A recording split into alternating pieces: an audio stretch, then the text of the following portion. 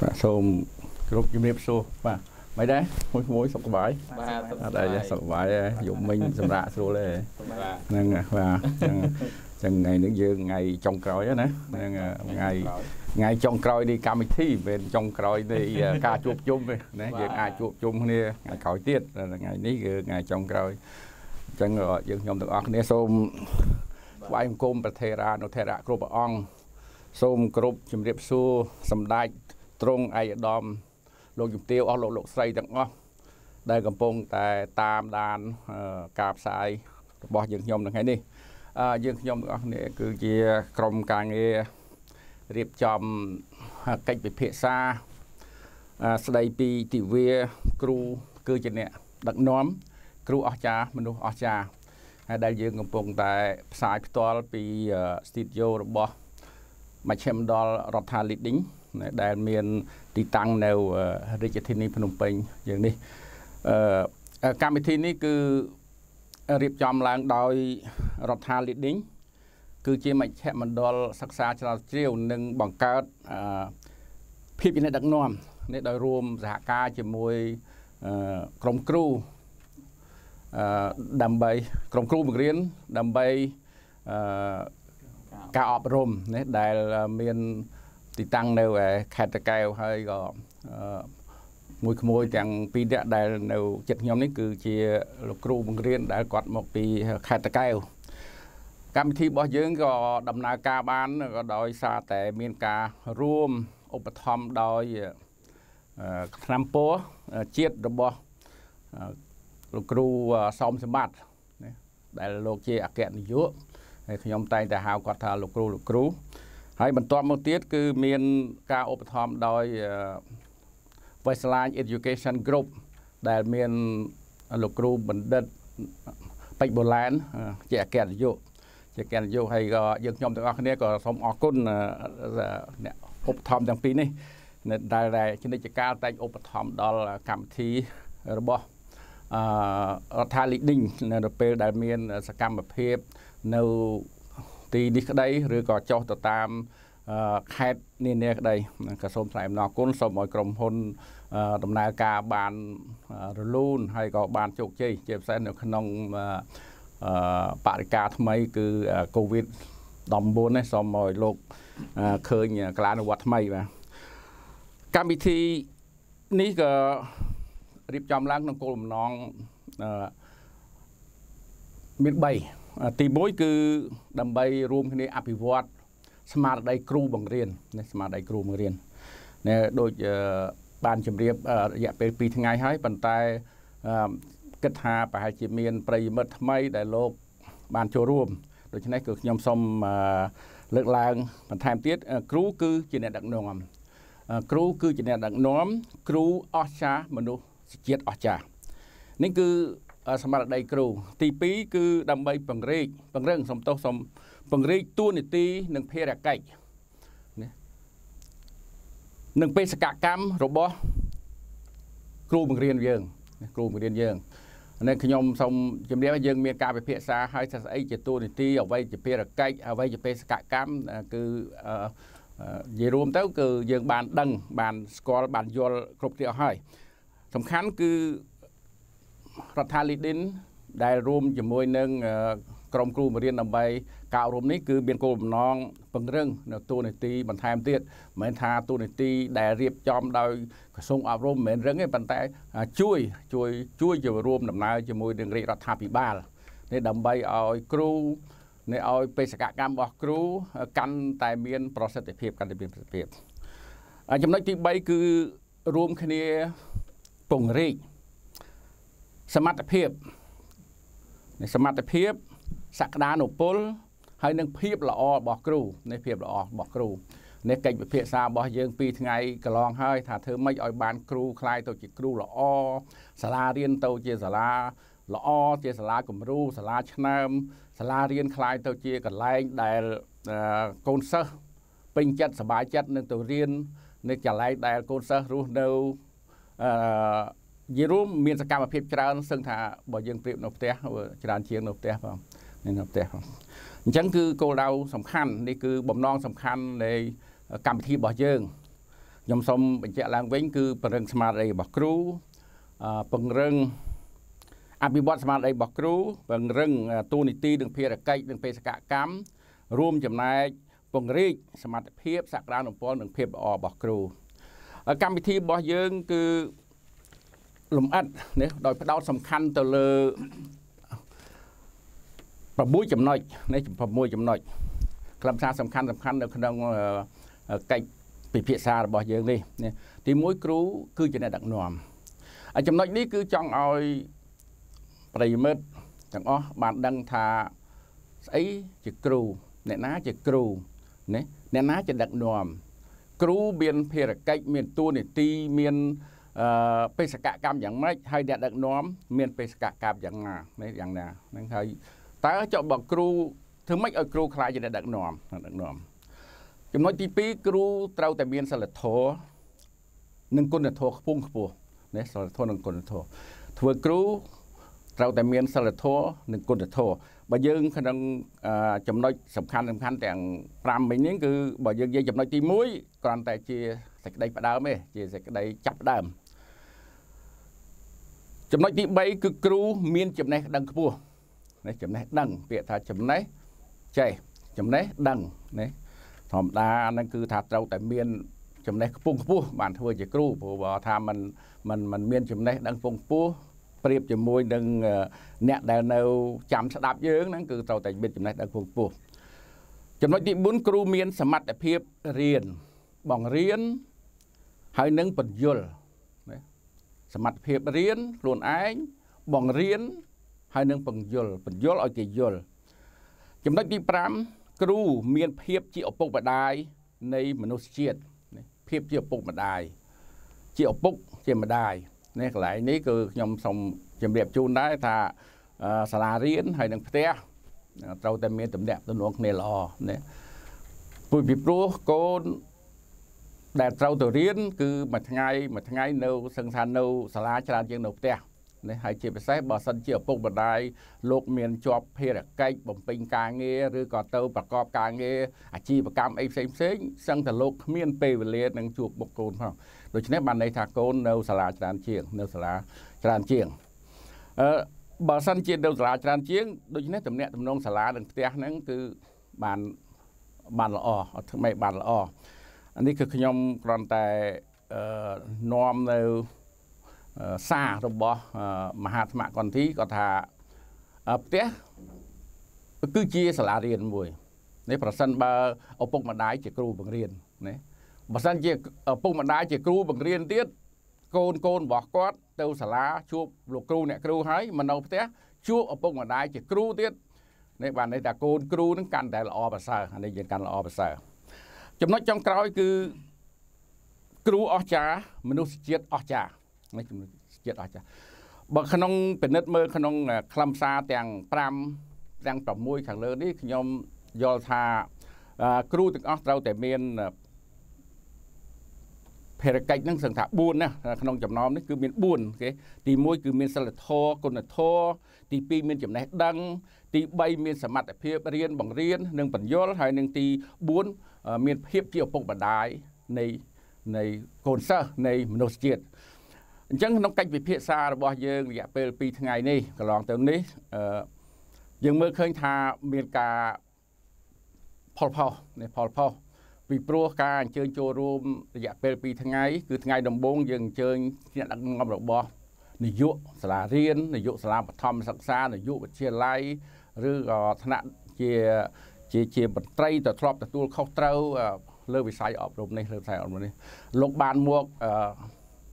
បញ្ចេញទស្សនៈលោកបានចេញបញ្ចេញនៅអនុសាសន៍ហើយក៏បានបង្ហាញនៅបទពិសោធន៍អ្វីដែលលោកបានធ្វើនៅលោកបានធ្វើកន្លងទៅហ្នឹងគឺរយៈពេលថ្ងៃដំបូងគឺថ្ងៃទី7គឺមានវាគ្មិន6នាក់ដែលជាអ្នកដឹកនាំហើយម្សិលមិញនេះគឺកិច្ចពិភាក្សាណាខ្ញុំ បានតាមដានមើលឃើញថាផលផុសសម្បើមសបាយនេះក្នុងបរិយាកាសស្និទ្ធស្នាលពីព្រោះយើងអញ្ជើញលោកគ្រូឆ្នើមនេះលោកគ្រូឆ្នើមដែលគាត់បង្រៀនមុខវិជ្ជាផ្សេងផ្សេងនេះមកពិភាក្សាមកផ្ដល់យោបល់ហេតុម៉េចបានគាត់ជាខ្លាយជាលោកគ្រូឆ្នើម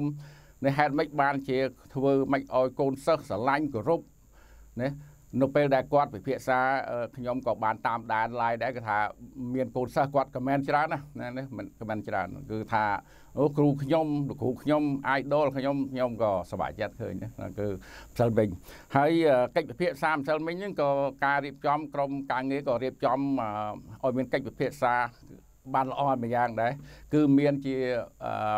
gender នេះមានលោកគ្រូផងក៏មានអ្នកគ្រូផង អានេះក៏ញ៉ាំងបរិយាកាសឲ្យលោកគ្រូនិងអ្នកគ្រូហ្នឹងគឺអឺមានសេចក្តីក្លាហាននិងបញ្ចេញយោបល់ហើយផ្ដល់យោបល់គ្រប់គ្រងគ្នាទៅវិញទៅមកឬក៏មានបំពេញបន្ថែមគ្នាទៅវិញមកមិសិលមិញខ្ញុំគិតឃើញថាបានល្អប្រសើរបានល្អប្រសើរមែនទែនអញ្ចឹងចំពោះលទ្ធផលពីម្សិលមិញគឺខ្ញុំសូមឲ្យក្មួយក្មួយទាំងពីរនាក់នេះក៏នឹង ជម្រាបជូនប្រិយមិត្តសង្ខេបណាក្នុងម្នាក់គឺអាចមានរយៈពេល10ទៅ15នាទីណាដើម្បីសង្ខេបអ្វីដែលកិច្ចពិភាក្សាមិសិលមិញទី1នេះដើម្បីឲ្យវាមានពេលវេលាល្អប្រសើរខ្ញុំគិតថាលោកគ្រូទាំងពីរគឺបែងចែកគ្នាណាដូច្នេះក្នុង4ចំណុចនេះគឺ2ចំណុចម្នាក់2ចំណុចម្នាក់អត់ទន្ទឹមនេះដែរខ្ញុំក៏សូម ថ្លែងអំណរគុណចំពោះប្រិយមិត្តដែលតាមដានដែលយកចិត្តទុកដាក់កំពុងតែទស្សនាឬក៏បានទស្សនាឲ្យក្តីក៏បានយកចិត្តទុកដាក់តាមដានកម្មវិធីរបស់យើងនេះណាអឺយើងឃើញពិនិត្យឃើញថាកម្មវិធីនេះគឺមានការគ្រប់គ្រងច្រើននេះមិនមានអឺមិនមានប្រិយមិត្តណាខមមិនមកថាងកម្មវិធីនេះធ្វើទៅវាខាតពេលខាតប្រយោជន៍ទេអត់មានទេសូមអរគុណណាចំពោះការគ្រប់គ្រងនេះណា ការគ្រប់គ្រងជាស្មារតីនេះគឺធ្វើឲ្យយើងទាំងគ្នាមានកម្លាំងចិត្តនេះកាន់តែការកាន់តែកាន់តែមានឆន្ទៈចង់ធ្វើទៅមុខទៀតណាចង់ធ្វើទៅមុខបន្តទៅមុខទៀតហើយយើងនឹងគិតទៅតាថ្ងៃទី9នេះខែ9នេះចាប់ពីឆ្នាំ2020នេះទៅ គឺជាថ្ងៃជាទិវាគ្រូគឺជាដឹកនាំគ្រូគឺជាដឹកនាំកន្លែងនេះគឺខ្ញុំចង់ជម្រាប ប្រិមិត្តដែរថាកុំឲ្យមានការយល់ច្រឡំជាមួយនឹងទិវាគ្រូបង្រៀនទិវាគ្រូបង្រៀនដែលរដ្ឋាភិបាលលោកបានរៀបចំអានឹងរឿងផ្សេងរបស់រដ្ឋាភិបាលយើងនៅតែគោរពនៅតែស្រឡាញ់នៅកម្មវិធីនោះតែតែនេះថាគ្រូគឺជាដឹកនាំដែលយើងនឹងគិតថាគ្រូគឺជាដឹកនាំណាមនុស្សម្នាក់ម្នាក់អាចខ្លាចជាអ្នកដឹកនាំណាហើយម្នាក់ដឹកនាំទាំងអស់គ្នា ដែលបានមកដឹកនាំដល់ថ្ងៃនេះនេះទាំងឡាយណាក៏កើតដោយសារគ្រូដូច្នេះយើងត្រូវឲ្យតម្លៃទៅលើគ្រូជាបឋមជាបឋមអញ្ចឹងហើយបានជារដ្ឋាភិបាល leading នៅជាមួយនឹងក្រុមគ្រូបរិញ្ញាដើម្បីការអប់រំនេះបានព្រួយផ្ដើមគំនិតដំបូងគឺផ្ដោតសំខាន់ទៅលើគ្រូបង្រៀនណាមនុស្សម្នាក់ម្នាក់ មនុស្សគ្រប់រូបសុទ្ធតែខ្លាចអ្នកដឹកនាំបានប៉ុន្តែហេតុអីបនកម្មវិធីនេះធ្វើសម្ដៅទៅលើគ្រូបង្រៀនបានន័យថាយើងមានបំណងចង់បំផុសស្មារតីគ្រូបង្រៀនជាដំបូងនេះហើយបើសិនជាកម្មវិធីនេះជាកម្មវិធីល្អជោគជ័យយើងធ្វើបានជោគជ័យបន្តទៅមុខទៀតយើងអាចថាកម្មវិធីថ្ងៃក្រោយឪពុកម្ដាយគឺជាដឹកនាំណាអឺឬក៏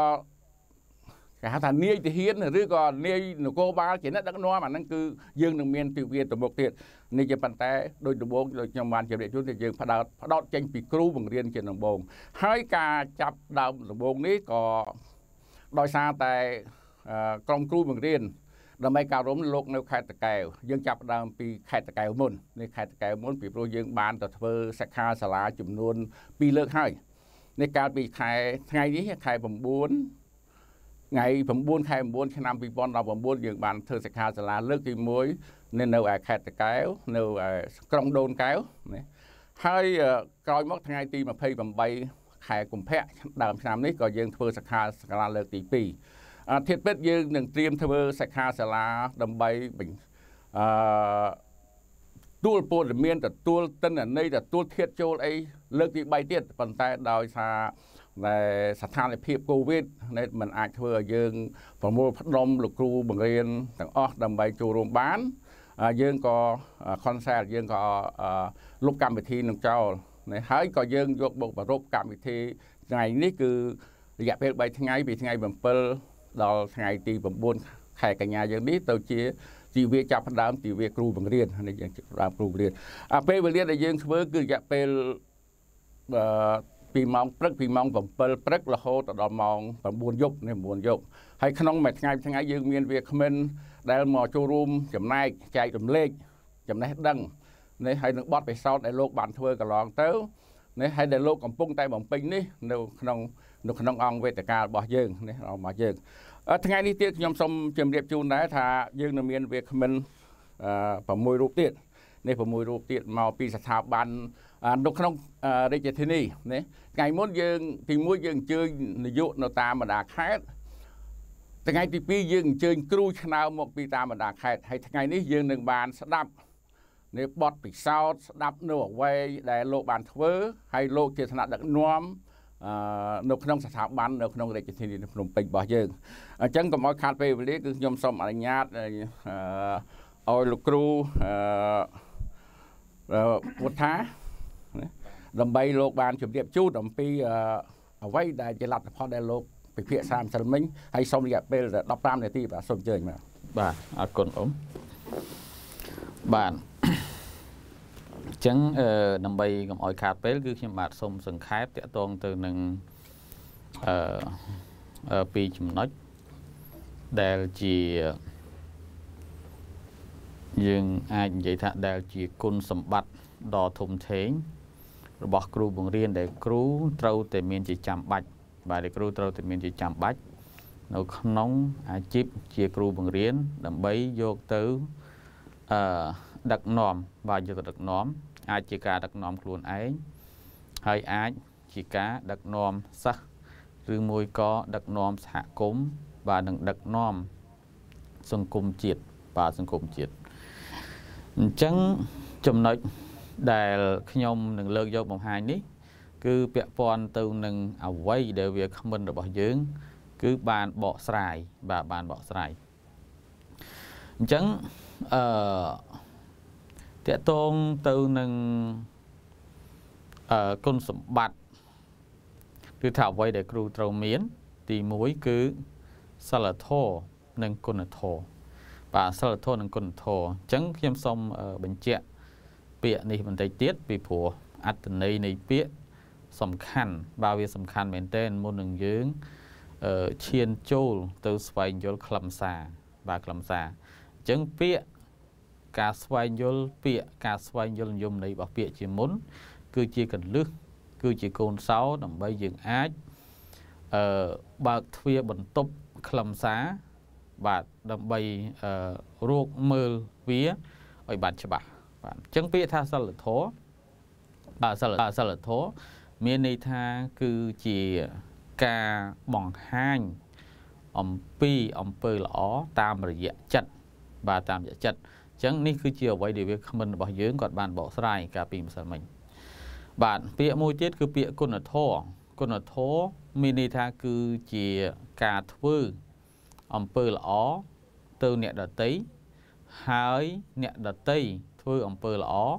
ទៅកាន់អ្នកដតីទៀតមានន័យថាជាការធ្វើអំពើល្អតតគ្នាបាទតតគ្នាហើយក្នុងនោះគាត់ក៏បានបន្ថែមមួយទៀតគឺពាក្យថាសុជីវធម៌ពីព្រោះគ្រូបង្រៀនមិនគួរមានត្រឹមតែពាក្យថាគុណធម៌ហើយនឹងសិលធម៌ប៉ុណ្ណោះទេគួរតែមានពាក្យថាសុជីវធម៌មួយទៀតបាទអញ្ចឹងពាក្យថាសុជីវធម៌គឺមានន័យថាគឺជាការប្រព្រឹត្តល្អដោយកាយ បាទការប្រព្រឹត្តល្អដោយកាយបាទហើយយើងស្គាល់ហើយកាយគឺមានអឺក្បាលដងខ្លួនអវយវៈបាទទាំងអស់នេះអានឹងគេហៅថាបាទគេហៅថាកាយមកហៅថាកាយអញ្ចឹងការប្រព្រឹត្តល្អនៅក្នុងសិលធម៌បាទដែលដែលយើងសិលធម៌គុណធម៌និងសជីវធម៌ដែលយើងគួរធ្វើនោះគឺអនុវត្តឬមួយក៏ប្រព្រឹត្តតាម គេហៅថាអឺជាគោលការណ៍ហៅគោលការណ៍ឬមួយក៏ជាពាក្យគេហៅពាក្យរបស់ប្រពុតបាទគឺកាយកម្ម3វិច័យកម្ម4និងមនោកម្ម3បាទមនោកម្ម3អញ្ចឹងកាយកម្ម3មានអីខ្លះ កាយកាយគឺកាយយើង កម្មកម្មគឺមានន័យថាប្រព្រឹត្តអញ្ចឹងគឺការប្រព្រឹត្តដោយកាយបាទការប្រព្រឹត្តដោយកាយអឺ3នោះគឺមានទី1មិនត្រូវសម្លាប់សត្វបាទមិនត្រូវសម្លាប់សត្វទី2មិនត្រូវលួចទ្រព្យគេ បាទទី3គឺមិនត្រូវសេពកាមខុសបាទសេពកាមខុស បាទនេះគឺជាការប្រព្រឹត្តដោយកាយមួយទៀតគេហៅថាវិច័យកម្មវិច័យកម្មវិច័យគឺមកវិពាក្យថាវាចាកម្មកម្មអំពើអញ្ចឹងវិច័យកម្មមានន័យថាគឺជាការប្រព្រឹត្តដោយវាចាបាទការប្រព្រឹត្តដោយវាចានោះគឺមាន4ទី1គ្រូគួរតែនិយាយពាក្យពិរោះពិសាមានបានន័យថាច្រៀងពិរោះទេបាទ ពាក្យពិរោះហើយនឹងការច្រៀងពិរោះគឺខុសគ្នាបាទទី2ពាក្យពេចដែលមិនញុះញង់ដែលធ្វើឲ្យមនុស្សមានការឆ្លោះតោះតែងគ្នាមនុស្សមានការខ្វែងគំនិតគ្នា បាទខ្វែងគំនិតគ្នាអឺចំណុចទី3នៅក្នុងវិច័យកម្មនេះដូចគ្នាសូមនិយាយពាក្យពេចដែលមានប្រយោជន៍បើថាពាក្យពេចដែលមានប្រយោជន៍បាទ អញ្ចឹងដូចគេថាយើងគួរគិតគ្រប់ពាក្យដែលយើងនិយាយប៉ុន្តែយើងក៏មិនគួរនិយាយគ្រប់ពាក្យដែលយើងគិត នៅក្នុងនោះគេចង់សម្ដៅថា ពាក្យដែលយើងគិតខ្លះជាពាក្យមានប្រយោជន៍ពាក្យដែលយើងគិតខ្លះអាចជាពាក្យដែលមិនមានប្រយោជន៍អញ្ចឹងពាក្យពេចន៍ដែលយើងនិយាយចេញទៅ គួរតែជាពាក្យពេចន៍ដែលមានប្រយោជន៍បាទ ចំណុចទី4នៅក្នុងវិច័យកម្មនេះ គឺកុំនិយាយអាក្រក់និយាយកុហកបាទនិយាយកុហក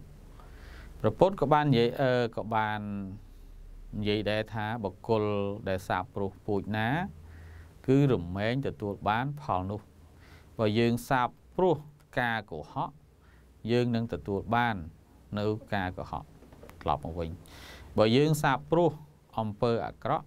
អំពើអាក្រក់នោះ គឺវានឹងហុចផលត្រឡប់មកវិញដូចគ្នាបាទចំណុច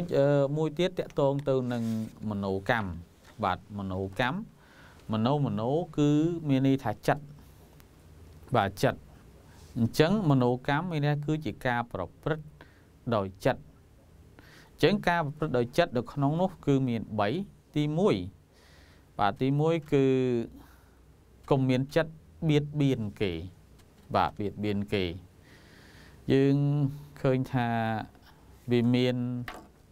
អឺរឿងច្រើន ដែលវាកើតឡើងដោយអឺការបៀតបៀនគេបាទការបៀតបៀនគេអញ្ចឹងដើម្បីជៀសវាងបញ្ហាដែលអាចកើតឡើង គឺគួរតែកុំមានចិត្តបៀតបៀនគេ មួយទៀតកុំមានចិត្តលោភលន់បាទលោភលន់ កន្លែងនេះខ្ញុំចង់សូមបញ្ជាក់ពាក្យថាមហិច្ឆតានិងលោភលន់មហិច្ឆតាមានន័យថាគឺជាអ្វីដែលយើងចង់បានក្នុងទ្រង់ទ្រាយធំ បាទទ្រង់ទ្រាយធំប៉ុន្តែពាក្យថាលោភលន់គឺបង្កប់នៅអឺគំនិតឬមួយបង្កប់នៅចិត្តអវិជ្ជមាន បាទអវិជ្ជមាននៅក្នុងនេះ បាទអវិជ្ជមាននៅក្នុងនេះប៉ុន្តែបើពាក្យមហិច្ឆតាអត្តន័យរបស់វាជាទៅជាទូទៅគឺបង្កប់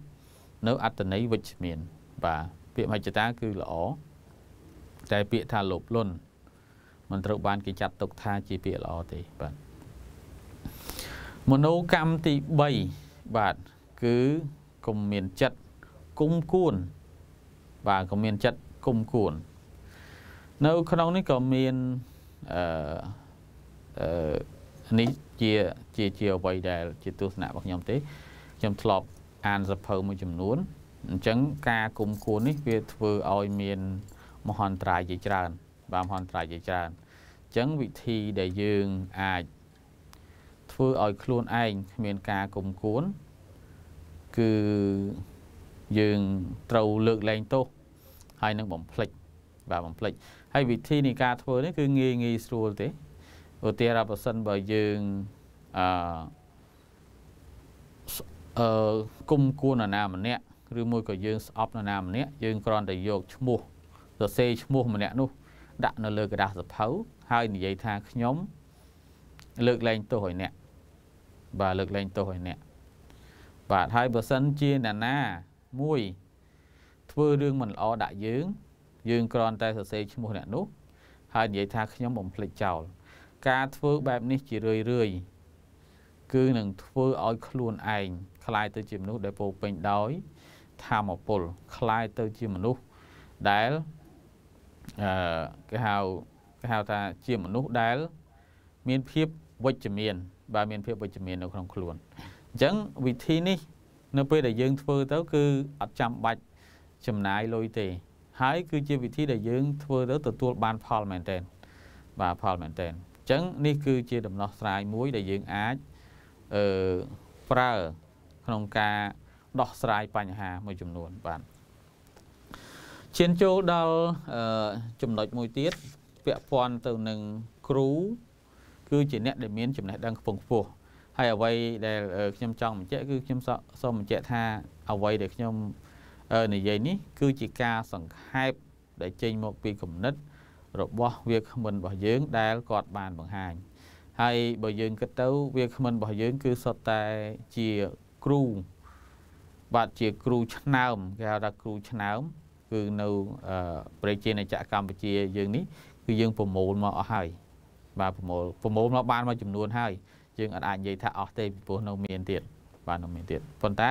ប្រមូលមកបានមកមួយចំនួនបាទអញ្ចឹងតកតងទៅនឹងចំណេះដឹងពងពោះរបស់គ្រូបង្រៀនដែលពួកគាត់ត្រូវមានទី1គឺចំណេះដឹងខាងវិជ្ជាជីវៈ ក្នុងនោះគាត់ក៏បានបញ្ជាក់ដែរថាឧទាហរណ៍ថាបើសិនជាយើង ជាគ្រូគណិតវិទ្យា ជាគ្រូរូបវិទ្យាគ្រូភាសាខ្មែរគ្រូផ្នែកខាងអក្សរសាស្ត្រអង់គ្លេសគឺគ្រូត្រូវតែមានជំនាញរបស់ខ្លួនឲ្យច្បាស់លាស់បាទជំនាញរបស់ខ្លួនឲ្យច្បាស់លាស់ពីព្រោះនៅពេលដែលគ្រូមានអឺអឺ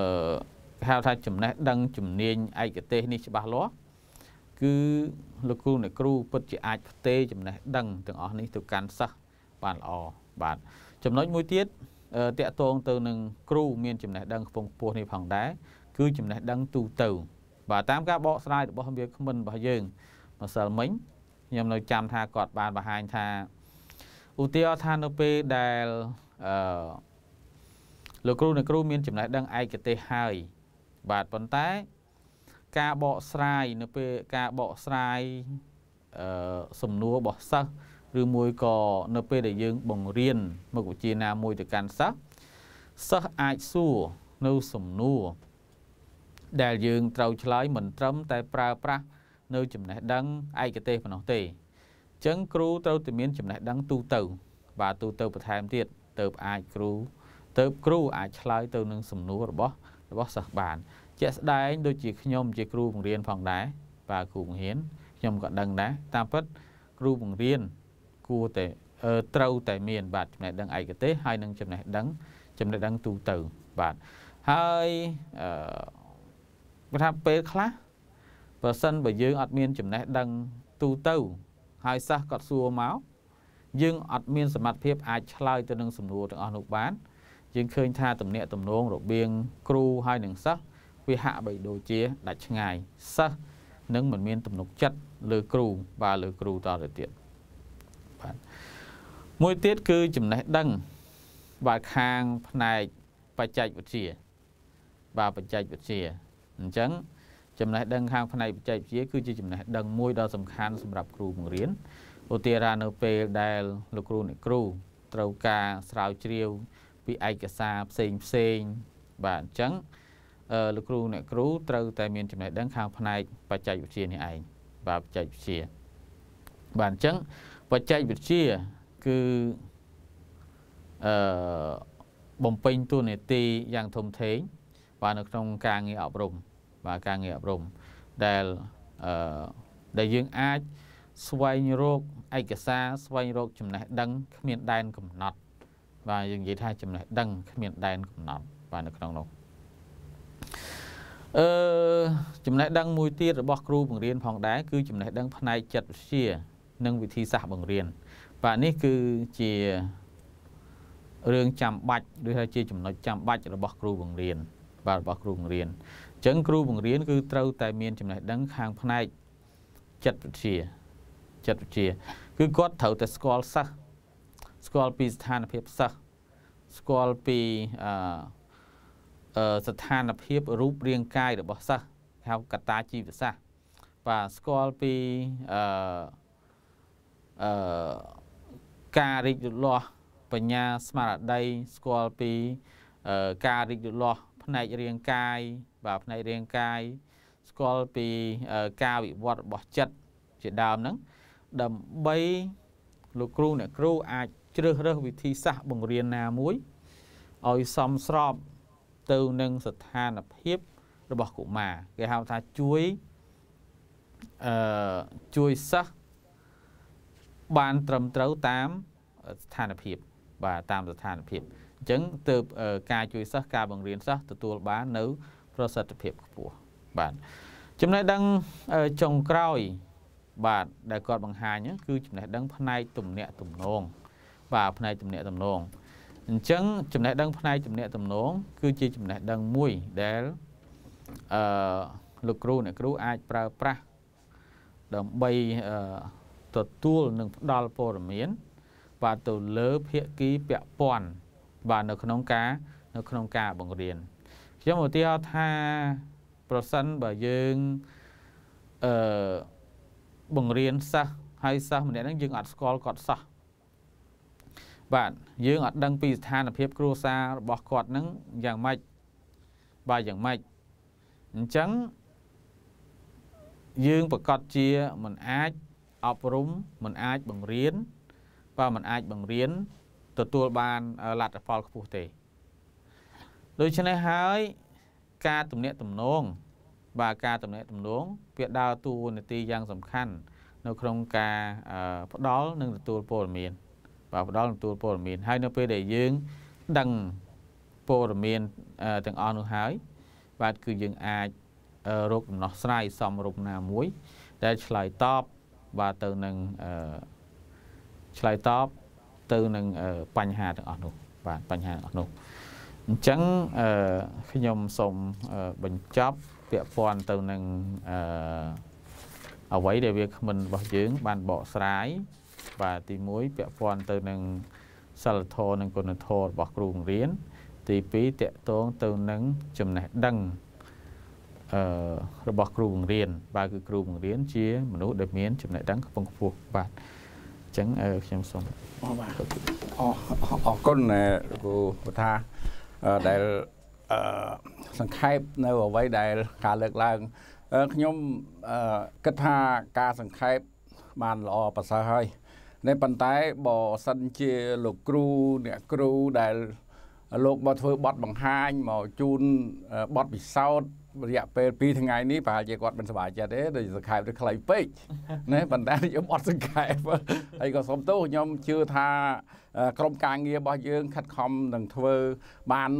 ល្អហើយយើងខិតខំប្រមូលឯកសារទុកអ្វីដែលលោកគ្រូអ្នកគ្រូមកចែករំលែកហ្នឹងគឺយើងមានឯកសារអស់ហើយប៉ុន្តែថ្ងៃនេះគ្រាន់តែយើងទាំងអស់គ្នាមកទីនេះគ្រាន់តែសង្ខេបអ្វីដែលលោកបានលើកឡើងទេនេះប្រៀបពីពីការលើកឡើងដោយលោកគ្រូអ្នកគ្រូរយៈពេល18ម៉ោងហើយមកអូននិយាយតែ15នាទីហ្នឹងក៏និយាយយ៉ាងណាក៏មិនអស់ដែរបងប្អូនក៏សូមអធិស្ឋានខ្ញុំខ្ញុំជឿថា លោកគ្រូអ្នកគ្រូយើងបានចែករំលែកបានច្រើនប្រសើរណាស់បានល្អមែនតែននេះដូចជាម្សិលមិញខ្ញុំពេលខ្ញុំធ្វើដំណើរតាមរថយន្តខ្ញុំក៏បើក line នឹងស្ដាប់ដែរបើក line ក៏បើក line ស្ដាប់ដែរណាខ្ញុំចាប់អារម្មណ៍ទៅលើអ្នកគ្រូលោកមានអ្នកគ្រូគាត់មានប្រសាសន៍ថាគ្រូនឹងបើមែនទេនោះសឹងខ្លាំងជាឪពុកម្ដាយទៀតណាគាត់គិតកូនសិស្សកូន ដែលមករៀនមួយគាត់គិតគិតគិតខ្លាំងសឹងថាបើយើងនិយាយទៅវាលើព្រោះគាត់គិតតាំងពីសវត្ថភាពគិតតាំងពីសុខភាពថែទាំឲ្យคล้ายទៅជាមេធាវីសម្រាប់សម្រាប់ដោះស្រាយចំនួនរវាងសិស្សទៀតណាហើយដោះស្រាយដោយសន្តិវិធីដោយរបៀបត្រជាក់នេះខ្ញុំសរសើរសើរមែនទែនណាគឺការលើកឡើងនឹងសត្វទាំងអស់នេះគឺសត្វធាតចូលសត្វធាតចូលនេះបើឲ្យយើងគិតមកທາງ លោកគ្រូអ្នកគ្រូនិយាយបានច្រើនណាលោកមានប្រសាសន៍បានច្រើនហើយយើងខ្ញុំសង្ខេបប៉ុន្តែគឺដោយពេលវេលាខ្លីនេះបាយពេលវេលាខ្លីហើយថ្ងៃនេះដូចខ្ញុំបានជម្រាបជូនណាប្រិយមិត្តសូមមេត្តា like ណាឬក៏ comment ណាឬក៏ share ជាសំខាន់ share ពីផ្សាយមិញគឺឡើងបានច្រើនគួសមខ្ញុំឃើញថាចូលដល់ K ដែរដល់ K ដែរដែលថ្ងៃទី1ដោយសារបច្ចេក បច្ចេកវិទ្យានេះអារឿង page របស់យើងនឹងមានបញ្ហានេះមានបញ្ហាប៉ុន្តែមិនឃើញថាច្រើនហើយបណ្ឌិត view អាចឡើងចូលដល់10000ណាចូលថាជា100000ណាដូច្នេះបើយើងគិតថា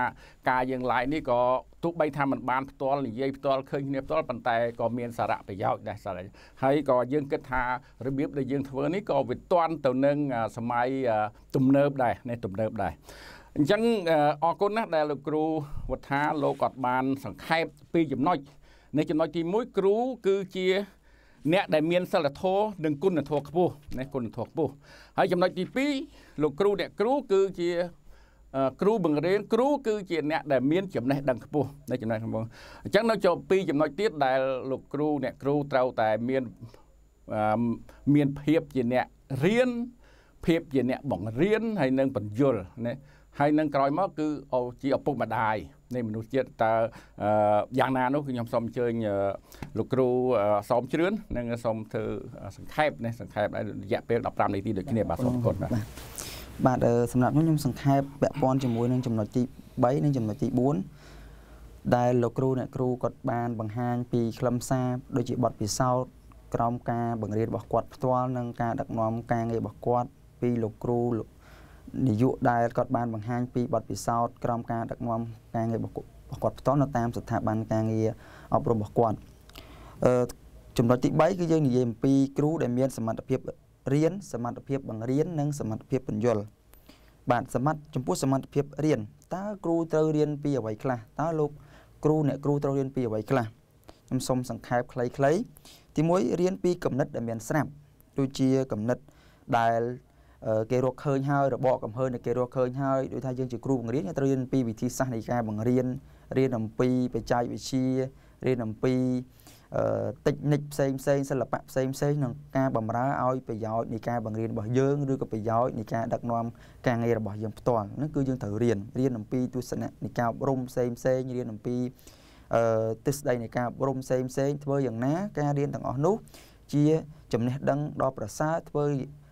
ដើម្បីឲ្យផ្ដល់នៅការបង្រៀនដែលមានប្រសិទ្ធភាពខ្ពស់រៀនពីកំណត់ថ្មីថ្មីនិងការអភិវឌ្ឍយើងដឹងហើយថាដើម្បីទទួលបានភាពប្រសើរឡើងនៃការរៀនគឺយើងត្រូវរៀនពីកំណត់ថ្មីថ្មីពីភាពច្នៃប្រឌិតពីកំណត់ដែលធ្វើឲ្យមានភាពរីកចម្រើនក្នុងការបង្រៀនពីភាពរីកចម្រើនក្នុងនៅក្នុងចំណេះដឹងរបស់យើងផ្ទាល់ហើយចំណេះដឹងថ្មីថ្មីនេះយើងអាចរៀនតាមរយៈតាមសិភៅតាមរយៈប្រព័ន្ធអ៊ីនធឺណិតការ research អីផ្សេងផ្សេង ចំណុចទី3យើងរៀនពីការបង្កើតថ្មី នៅពេលដែលយើងមានចំណេះដឹងអឺដែលទទួលបានមកពីការសិក្សារៀនសូត្រពីអ្នកដែលមានជំនាញការសិក្សារៀនសូត្រពីសភៅដែលគេបានបន្សល់ទុកជាស្នាដៃល្អល្អពីចំណេះដឹងដែលបានមកពីការផ្ដល់តាមរយៈក្រសួងអប់រំយុវជននិងកីឡាជាដើមមានន័យថាចំណេះដឹងទាំងអស់នោះគឺជាចំណេះដឹងមួយដែលយើងមានហើយប៉ុន្តែអ្វីដែលសំខាន់ជាងនេះទៀតគឺយើងត្រូវរៀនពីការបង្កើតថ្មី នៅពេលដែលយើងបានដឹង ពីចំណុចសំខាន់នៃមេរៀនឬក៏ចំណុចសំខាន់នៃចំណេះដឹងដែលយើងបានរៀននោះហើយយើងត្រូវតែមានការបង្កើតថ្មីពីព្រោះថាការបង្កើតថ្មីនេះវាពិតជាមានសារៈសំខាន់ណាស់ប្រសិនបើយើងមិនមានការបង្កើតថ្មីទេមានន័យថាភាពប្រែប្រួលវាចេះតែទៅមុខអញ្ចឹងនៅពេលដែលវាមានការបង្កើតថ្មីវាធ្វើឲ្យចំណេះដឹងវាធ្វើឲ្យវិធីសាស្ត្រនៃការបង្រៀនវាធ្វើឲ្យវិធីសាស្ត្រនៃការដឹកនាំសាលារៀនការគ្រប់គ្រងបញ្ហាផ្សេងផ្សេងនៅក្នុងការ ធ្វើការងារក្នុងស្ថាប័នសាលារៀនរបស់យើងអាចនឹងមានបញ្ហាហើយយើងត្រូវរៀនពីតម្រូវការពីតម្លៃពីប្រយោជន៍ពីព្រោះថានៅពេលដែលយើងរៀនយើងត្រូវជ្រើសរើសយើងត្រូវបង្កើតជំរើសគ្រប់កលៈទេសៈទាំងអស់យើងត្រូវរៀនពីចំណេះដឹងរៀនពីវិធីសាស្ត្រណាដែលយើងមានប្រយោជន៍ដល់ការបង្រៀនប្រយោជន៍ក៏ដល់ការដឹកនាំការងារនៅក្នុងសាលារៀនរបស់យើងហើយនឹងតម្លៃពីព្រោះថាប្រសិនបើយើងមិនបានសិក្សានៅតម្លៃនៅប្រយោជន៍នៃ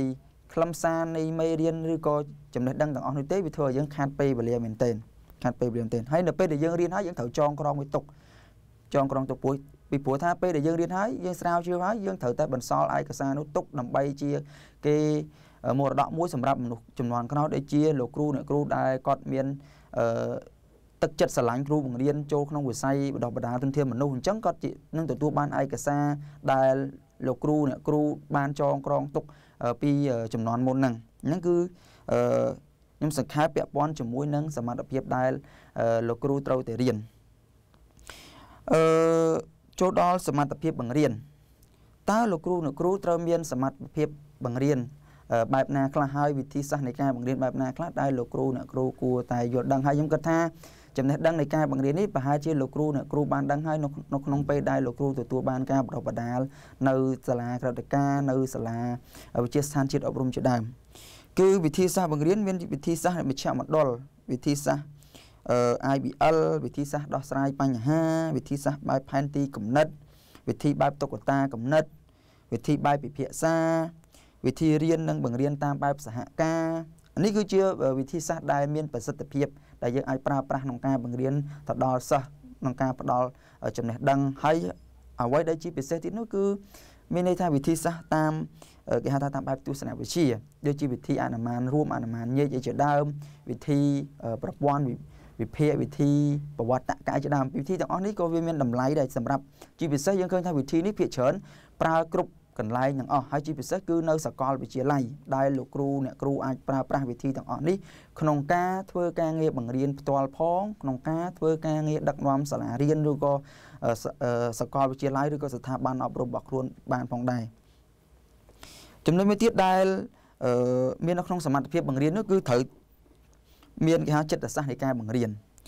មានន័យថាចិត្តសាស្ត្រនៃការបង្រៀនគឺយើងត្រូវចេះចិត្តវិទ្យាដែលលោកគ្រូគាត់បានបង្ហាញថាចិត្តវិទ្យាពិតជាមានសារៈសំខាន់ណាស់ បាទចិត្តវិទ្យាគ្រូកុសលនៃការបង្រៀនមានន័យថាដូចវិធីសាស្ត្រដែលល្អល្អវិធីសាស្ត្រដែលទំនើបទំនើបយើងឃើញថាចំណុចនេះឃើញលោកគ្រូអ្នកគ្រូគាត់បានបង្ហាញច្រើនថាវិធីសាស្ត្រមានការផ្លាស់ប្ដូរគ្រប់កលៈទេសៈរបស់សិស្សទាំងអស់ហើយមួយទៀតវិធីសាស្ត្រដែលធ្វើឲ្យយើងមានភាពប្រសើរនោះគឺយើងត្រូវស្រាវជ្រាវត្រូវ research ឲ្យបានច្រើនពី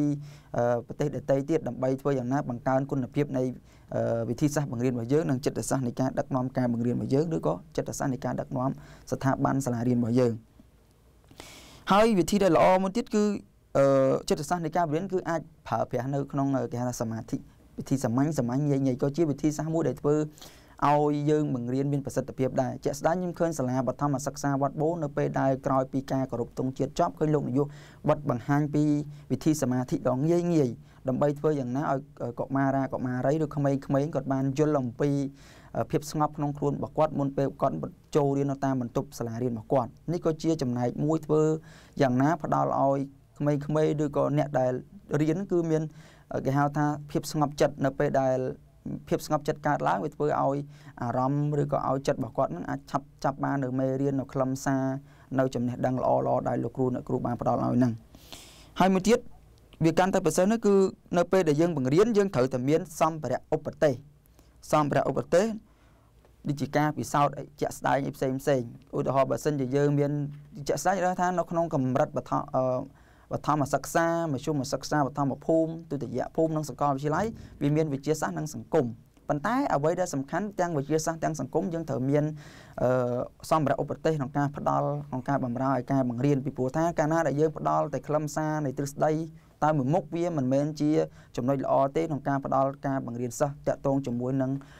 ខ្លឹមសារមេរៀនទាំងអស់នោះយើងទៀមទីឲ្យមានការចូលរួមពាក់ព័ន្ធជាមួយនឹងការផលិតនៅសម្ភារៈឧបទេសប្រកបដោយប្រសិទ្ធភាពនិងគុណភាពខ្ពស់ ហើយជាពិសេសទៀតសោតគឺតកតងជាមួយនឹងការពិសោធន៍ជាក់ស្ដែងបើសិនជាយើងរៀនផ្នែកវិទ្យាសាស្ត្រដូចជាមុខវិជ្ជារូបវិទ្យាគីមីវិទ្យាជីវវិទ្យាជាដើមហ្នឹងគឺមានន័យថាវាទៀមទាឲ្យមានការពិសោធន៍មែនទែនពីព្រោះថានៅពេលដែលយើងប្រើប្រាស់អឺយើងប្រើប្រាស់ទ្រឹស្ដីតែមួយមុខអត់មានប្រសិទ្ធភាពខ្ពស់ទេជាក់ស្ដែងរូបវិទ្យាគីមីវិទ្យាគីមីវិទ្យាហ្នឹងគឺជីវវិទ្យាហ្នឹងគឺទៀមទាឲ្យមានការពិសោធន៍មែនទែនពីព្រោះថា កាលណាដែលมันមានការពិសោធន៍វាធ្វើឲ្យប្រសិទ្ធភាពនៃការបង្រៀនតាក់ទងទៅនឹងខ្លឹមសារអាចធ្លាក់ចុះហើយសិស្សគឺនឹងពិបាកបញ្យល់មែនទែនតែចំពោះមុខវិជ្ជាអឺផ្នែកសង្គមវិញក៏យើងត្រូវទៀមទាឲ្យមានការពិសោធន៍បែបតាមបែបគេហៅថាសង្គមដែរអាហ្នឹងគឺជាចំណុចមួយដែលលោកគ្រូអ្នកគ្រូគួរតែស្វែងយល់ហើយខ្ញុំគិតថាលោកគ្រូអ្នកគ្រូនឹងយល់អំពីការផលិតសម្ភារៈឧបទេសនិងការអនុវត្តជាក់ស្ដែងនៅក្នុងមេរៀនរបស់ខ្លួនមួយទៀតគឺសមត្ថភាពបញ្យល់តើយើងត្រូវធ្វើម៉េចដើម្បី អឺបញ្យលសិស្សនៅក្នុងសារដែលយើងបានរៀបចំហ្នឹងឲ្យសិស្សយើងយល់ឲ្យសិស្សយើងយល់តាមការធ្វើការបត់បង្ហាញពាក់ព័ន្ធទៅនឹងបទពិសោធន៍នៃការបញ្យលរបស់លោកគ្រូអ្នកគ្រូនៅតាមបណ្ដាខេត្តពីម្សិលហើយនិងលោកនាយកពីម្សិលថ្ងៃនោះគាត់បានបង្ហាញថានៅពេលដែលយើងមានខ្លឹមសារមេរៀនល្អហើយ នៅពេលដែលយើង បានរៀបចំនៅចំណេះដឹងនៅអឺ ការពិសោធន៍អីផ្សេងផ្សេងយើងរៀបចំឲ្យប៉ុន្តែបើសិនជាយើងមិនមានសមត្ថភាពបញ្យល់ឲ្យខ្លាំងទេវាហាក់បីដូចជាចំណេះដឹងទាំងអស់នោះគឺมันបានទទួលការផ្ដល់ទៅដាក់ទៅកាន់ការគិតឲ្យសិស្សនោះទេអញ្ចឹងហើយខ្ញុំគិតថានេះគឺជាចំណោចចំណែកមួយក្នុងការផ្ដល់ឬក៏ចូលរួមជាចំណេះដឹងក្នុងការចែករំលែក ក៏ដូចជាបទពិសោធន៍ល្អល្អដើម្បីឲ្យលោកគ្រូអ្នកគ្រូអាចចូលរួមយកចំណេះដឹងទាំងអស់នេះទៅច្នៃប្រឌិតបន្ថែមឬក៏ទៅរៀនសូត្រឬក៏ទៅប្រើប្រាស់នៅក្នុងការអនុវត្តការងារបញ្យលជាក់ស្ដែងនៅពេលដែលយើងបរៀនសិស្សមិនថាបឋមសិក្សាឬក៏ឧត្តមសិក្សានោះទេទីមួយយើងត្រូវបញ្យលឲ្យមានពាក្យពិតជាក់ស្ដែងបើសិនជាយើងបញ្យលដោយមានពាក្យពិតទេមានន័យសិស្សគឺអត់ចូលចិត្តទេហើយសម្រាប់សិស្សបឋមបើសិនជាយើងបញ្យលមិនពិតហើយគឺដូចជាកុហកសិស្ស ហើយក្មេងគឺឆាប់ជឿមែនទែនគាត់អត់សូវមានការពិចារណាមានបញ្ញាបើគាត់ការលូតរបស់គាត់គឺនៅមានកម្រិតប៉ុន្តែចំពោះនៅតាមគេថាចាប់ពីមធ្យមសិក្សាបឋមភូមិឬក៏ទុតិយភូមិឬក៏ដំសិក្សាកាលណាដែលយើងបញ្យល់ដោយមានអត់មានភាពពិតពេកមានន័យថាគឺការបញ្យល់របស់គាត់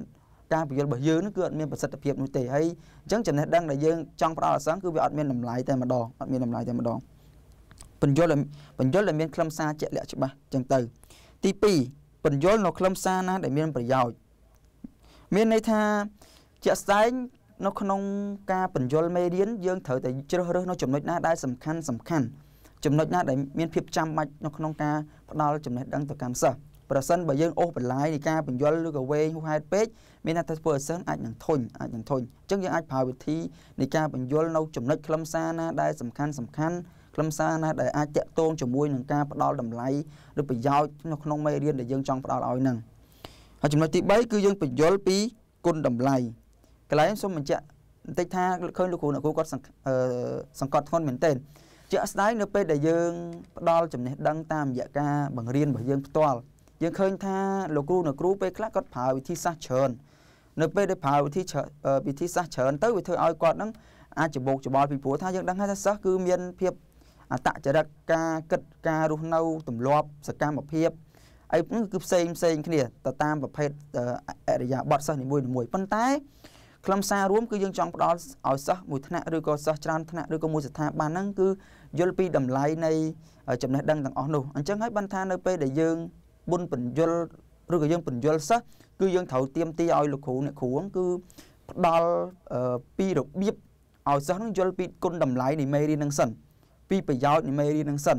ពីសារៈសំខាន់នៃមេរៀននឹងសិននៅពេលដែលសិស្សគាត់យល់ពីប្រយោជន៍ពីគុណតម្លៃពីសារៈសំខាន់នៃខ្លឹមសារនៃចំណេះដឹងដែលយើងចង់ផ្ដល់សិស្សខ្ញុំគិតថាគឺសិស្សនឹងចាប់ផ្ដើមខិតខំយកចិត្តទុកដាក់ខិតខំប្រឹងប្រែងស្ដាប់ដោយមានអឺការកត់ត្រាដោយមានការសួរនៅហេតុផលជាច្រើនទាំងនេះខ្ញុំគិតថាគឺជាសមត្ថភាពបញ្យលមួយដ៏អស្ចារ្យសមត្ថភាពបញ្យលមួយដ៏អស្ចារ្យហើយមួយទៀតចំណុចទី4ចុងក្រោយនោះគឺ បញ្យលឲ្យចំកលៈទេសៈសិស្សពីព្រោះថាពេលខ្លះនៅពេលដែលយើងប្រើប្រាស់វិធីសាស្ត្រនៃការបញ្យលគឺយើងអត់ចំជាមួយនឹងអរិយាប័ត្រសិស្សដែលកំពុងស្ដាប់ទេអញ្ចឹងមានថាកន្លែងបញ្យលឲ្យចំកលៈទេសៈបសង្ឃគឺមានថាវាទៀមទីឲ្យលោកគ្រូអ្នកគ្រូទាំងអស់មុនបញ្យលត្រូវគ្រប់គ្រងឬក៏ផ្ដល់ការត្រួតពិនិត្យឲ្យបានច្បាស់អំពីអរិយាប័ត្រសិស្សរបស់យើងថាតើសិស្សរបស់យើងគាត់កំពុងធ្វើអីខ្លះគាត់កំពុងមានអរិយាប័ត្រឬក៏សកម្មភាពបែបណាខ្លះបើសិនជាយើងមិនបានស្វែងយល់ពីអរិយាប័ត្រពីចិត្តសាស្ត្រទាំងអស់នោះទេ នៅពេលដែលយើងបញ្យល់ហ្នឹងគឺមានលក្ខណៈមិនផ្ដល់នៅចំណេះដឹងទទួលបានប្រសិទ្ធភាពខ្ពស់ទេនេះគឺជាចំណុចទី3ដែលយើងនិយាយពាក់ព័ន្ធជាមួយនឹងសមត្ថភាពរៀនបង្រៀននិងបញ្យល់ហើយចំណុចទី4គឺជាចំណុចអឺលោកគ្រូអ្នកគ្រូគឺត្រូវតែមានភាពជាឪពុកម្ដាយនៃមនុស្សជាតិចំណុចនេះខ្ញុំសង្ខេបសម្បួនចំណុចខ្លីៗហើយខ្លឹមអឺចំណុចទី1គឺជាអ្នកផ្ដល់កំណើតយើងដឹងហើយថាអឺ លោកគ្រូអ្នកគ្រូមិនមែនជាអ្នកផ្ដល់កំណើតឲ្យអឺកូនសិស្សនោះទេប៉ុន្តែលោកគ្រូលោកគ្រូជាអ្នកផ្ដល់កំណើតនៃចំណេះដឹងឲ្យកូនសិស្សមានន័យថាប្រសិនខ្ញុំសូមផ្ដល់ជាន័យធៀបវិញខ្ញុំឪពុកម្ដាយគាត់មានទូនាទីជាអ្នកផ្ដល់នៅកំណើតឲ្យកូនរបស់ខ្លួនក៏ប៉ុន្តែយើងឃើញថាលោកគ្រូអ្នកគ្រូដែលបញ្ចប់ការសិក្សានៅមធ្យមសិក្សាទុតិយភូមិក្រោយពេលប្រឡង បាក់ឌុបហើយហ្នឹងគឺមានលោកសិស្សខ្លះគាត់មានឧបនិស្ស័យគាត់មាននិស្ស័យជាមួយនឹងការបណ្ដុះបណ្ដាលទុនធានមនុស្សអញ្ចឹងគាត់មានបំណងចង់ក្លាយជាគ្រូបង្រៀនគាត់ស្រឡាញ់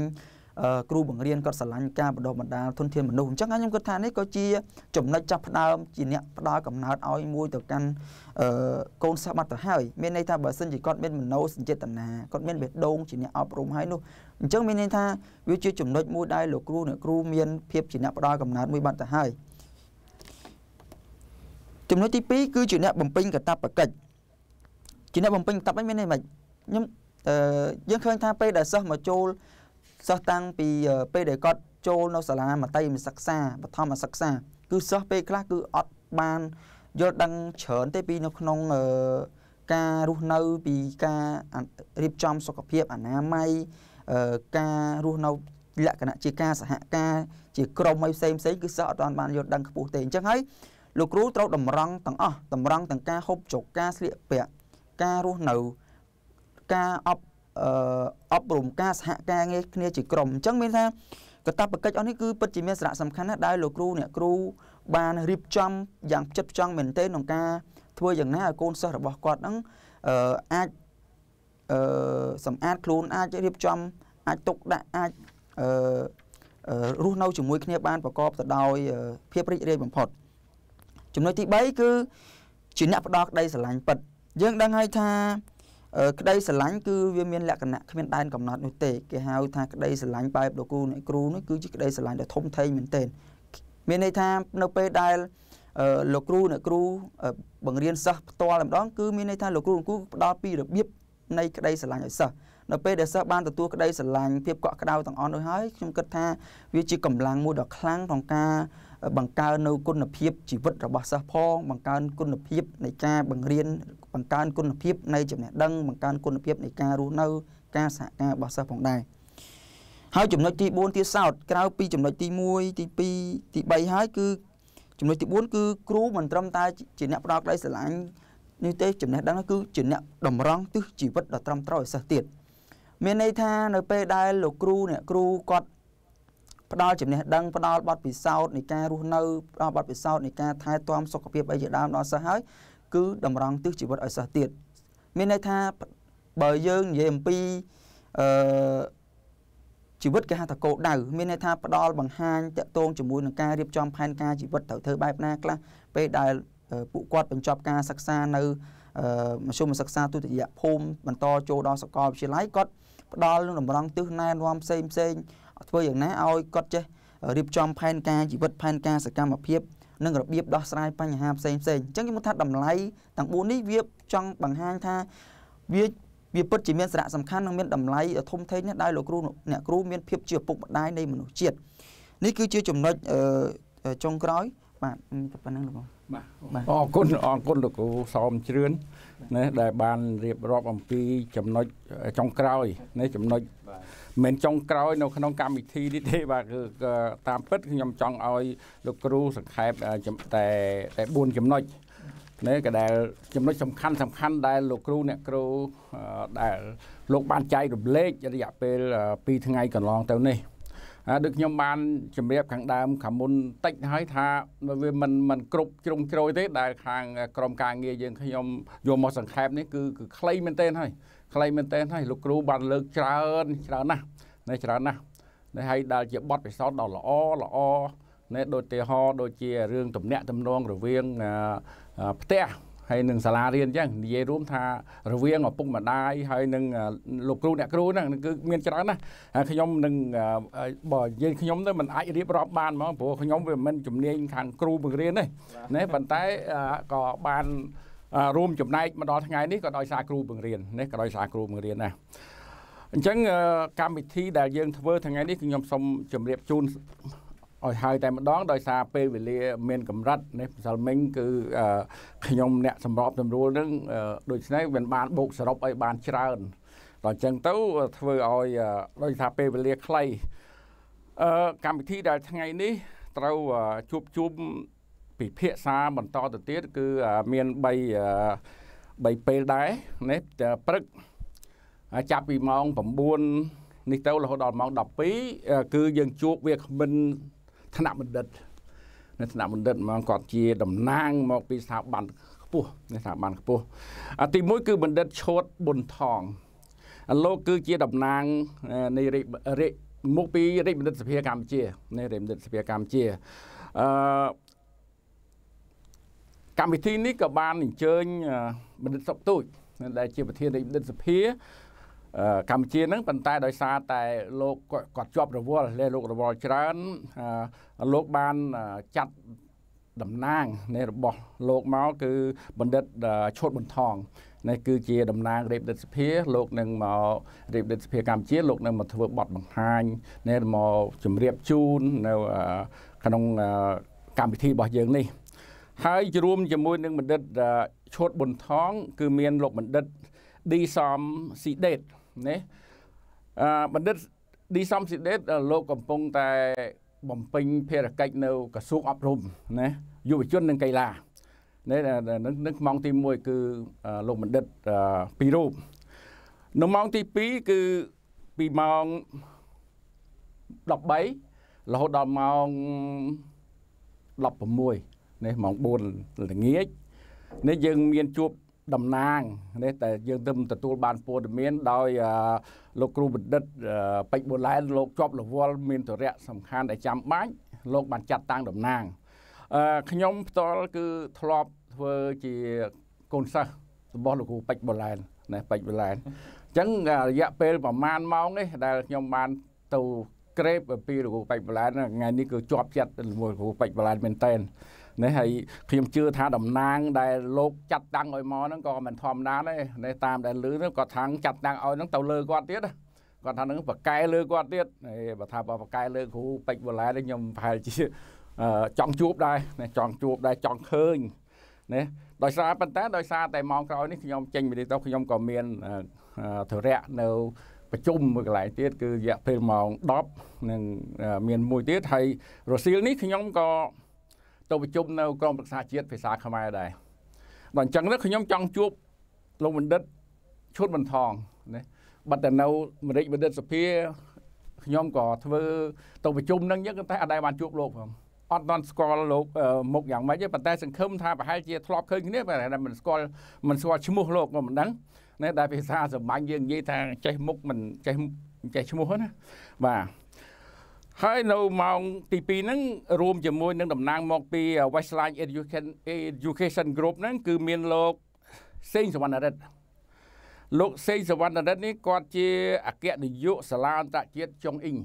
ណាគាត់នឹងមកចូលរួមថ្ងៃនេះដែរនេះពីម៉ោង13រហូតដល់ម៉ោង16 16ល្ងាចហើយនៅ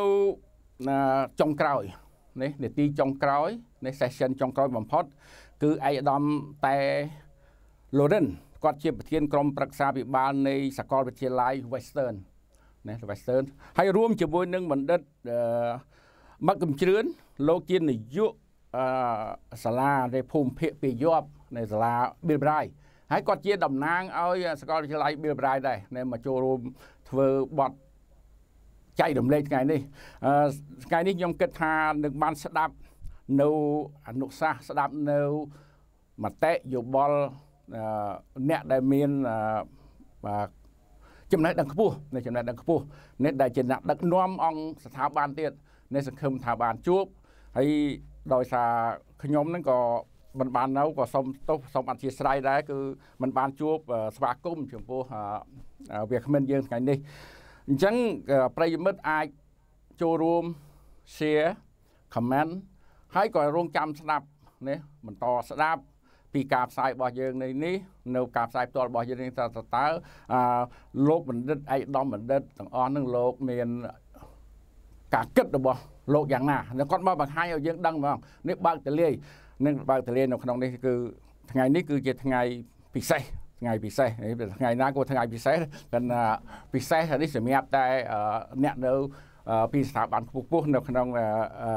ក្នុងក្នុងរាជធានីអឺថ្ងៃទី1ពិសេសពិសេសនយោមកពីតាមខេត្តណែនយោនយោឆ្លើមដល់ថ្ងៃទី2ពិសេសដែរពិសេសខាងគ្រូឆ្លើមសិតតែថ្ងៃពិសេសទាំងអស់ណាថ្ងៃពិសេសទាំងអស់អញ្ចឹងគឺសូមឲ្យប្រិយមិត្តយើងទាំងអស់ណាសូមមេត្តាជួយ comment ជួយ share ណាអាច comment គឺតាមយើងចង់បាន comment នេះ comment ជា អ្វីដែលជាចំណេះដឹងនេះដើម្បីឲ្យក្រុមយើងខ្ញុំកត់ត្រាទុកហើយយើងប្រមូលទៅជាធាតចូលសម្រាប់អឺឯកសារសម្រាប់ទិវាគ្រូគឺជាអ្នកដឹកនាំនេះឯងដឹកនាំនេះឯងហើយក៏ជ្រាបឱកាសនេះដែរក៏សូមអរគុណលោកគ្រូសំសម្បត្តិនេះអរគុណលោកគ្រូពេជ្របលែនដែលលោកបានជួយឧបត្ថម្ភនៃកម្មវិធីនេះតាមដែលលោកអាចជួយបានហើយសូមអរគុណណា នៅបើយើងអត់លោកជួយឧបត្ថម្ភទេរដ្ឋាភិបាលលីឌីនរួមជាមួយនឹងក្រុមគ្រូបង្រៀនដើម្បីការអប់រំប្រហែលជាអត្តខត្តបន្តិចណាតែធ្វើជាខំប្រឹងប្រែងធ្វើប៉ុន្តែយើងថ្ងៃនេះក៏ឃើញថាមានការប្រសើរឡើងសូមអរគុណសូមជូនពរលោកទាំងពីរក្រុមគ្រួសារលោកហើយមុខចំនួនរបស់លោកក៏សូមឲ្យបានសមប្រកបសមប្រកបខ្ញុំចំពោះខ្ញុំខ្ញុំចង់រួមចំណែកដែរនេះអ្វីស្បិតតែក៏ មិនមែនគ្រូបង្រៀនណាមិនមានគ្រូបង្រៀនប៉ុន្តែក៏គិតថាខ្លួនឯងស្រឡាញ់អាជីពគ្រូបង្រៀនណាតាំងពីតូចមកដោយសារដូចខ្ញុំបានលើកបទបង្ហាញដំបូងមកហើយថាស្រឡាញ់អាជីពគ្រូបង្រៀននេះណាណាពីព្រោះក្រោយពេលដែលខ្ញុំរៀនដល់ថ្នាក់ទី7យើងទី7ពីដើមយើងរាប់ពីទី12ចុះមកវិញនៅថ្នាក់ឧត្តមដ្ឋាន អត់មានលោកគ្រូបង្រៀននៅវត្តខ្ញុំមិនមានគ្រូបង្រៀនខ្ញុំត្រូវទៅរៀននៅវត្តផ្សេងនេះឆ្ងាយពីវត្តនឹងធ្វើដំណើរទៅ6 7គីឡូដែរនេះថៃដើរហ្នឹងអឺហើយដោយសារតែឃើញយើងខ្លួនយើងលំបាកយើងធ្វើអ្វីអ្វីដើម្បីការអប់រំចង់ឆ្លាញ់ខាងគិតចង់ធ្វើគ្រូសុំឡើងឲ្យតែបានរៀនបានក្រនបានបន្តិចនឹងចង់ធ្វើគ្រូត្រឡប់មកបរៀននៅស្រុកវិញនេះនៅស្រុកវិញដោយកលៈទេសៈទៅក៏តម្រូវ ណាដែលมันអាចធ្វើគ្រូបានទេនេះពីព្រោះយើងរៀនមិនតាន់ចប់ស្រួលផងស្រុកយើងធ្លាក់ទៅក្នុងរបបបល័យពុជសាសទៅហើយក្រោយពីរបបបល័យពុជសាសនឹងវាចប់ទៅ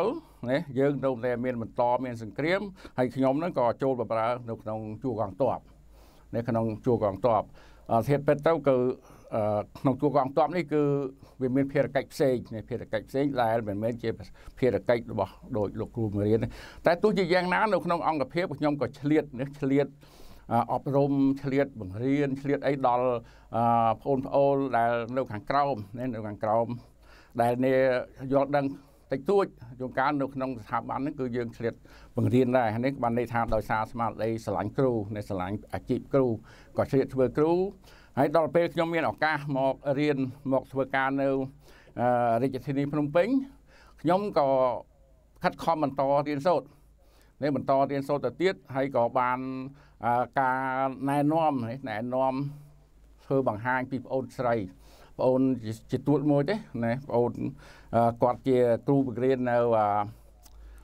IFL នៅវិទ្យាស្ថានភាសាបរទេសគាត់ថាមកឯងគួរទៅរៀនអង់គ្លេសអីបន្ថែមខ្ញុំក៏ខិតខំទៅរៀន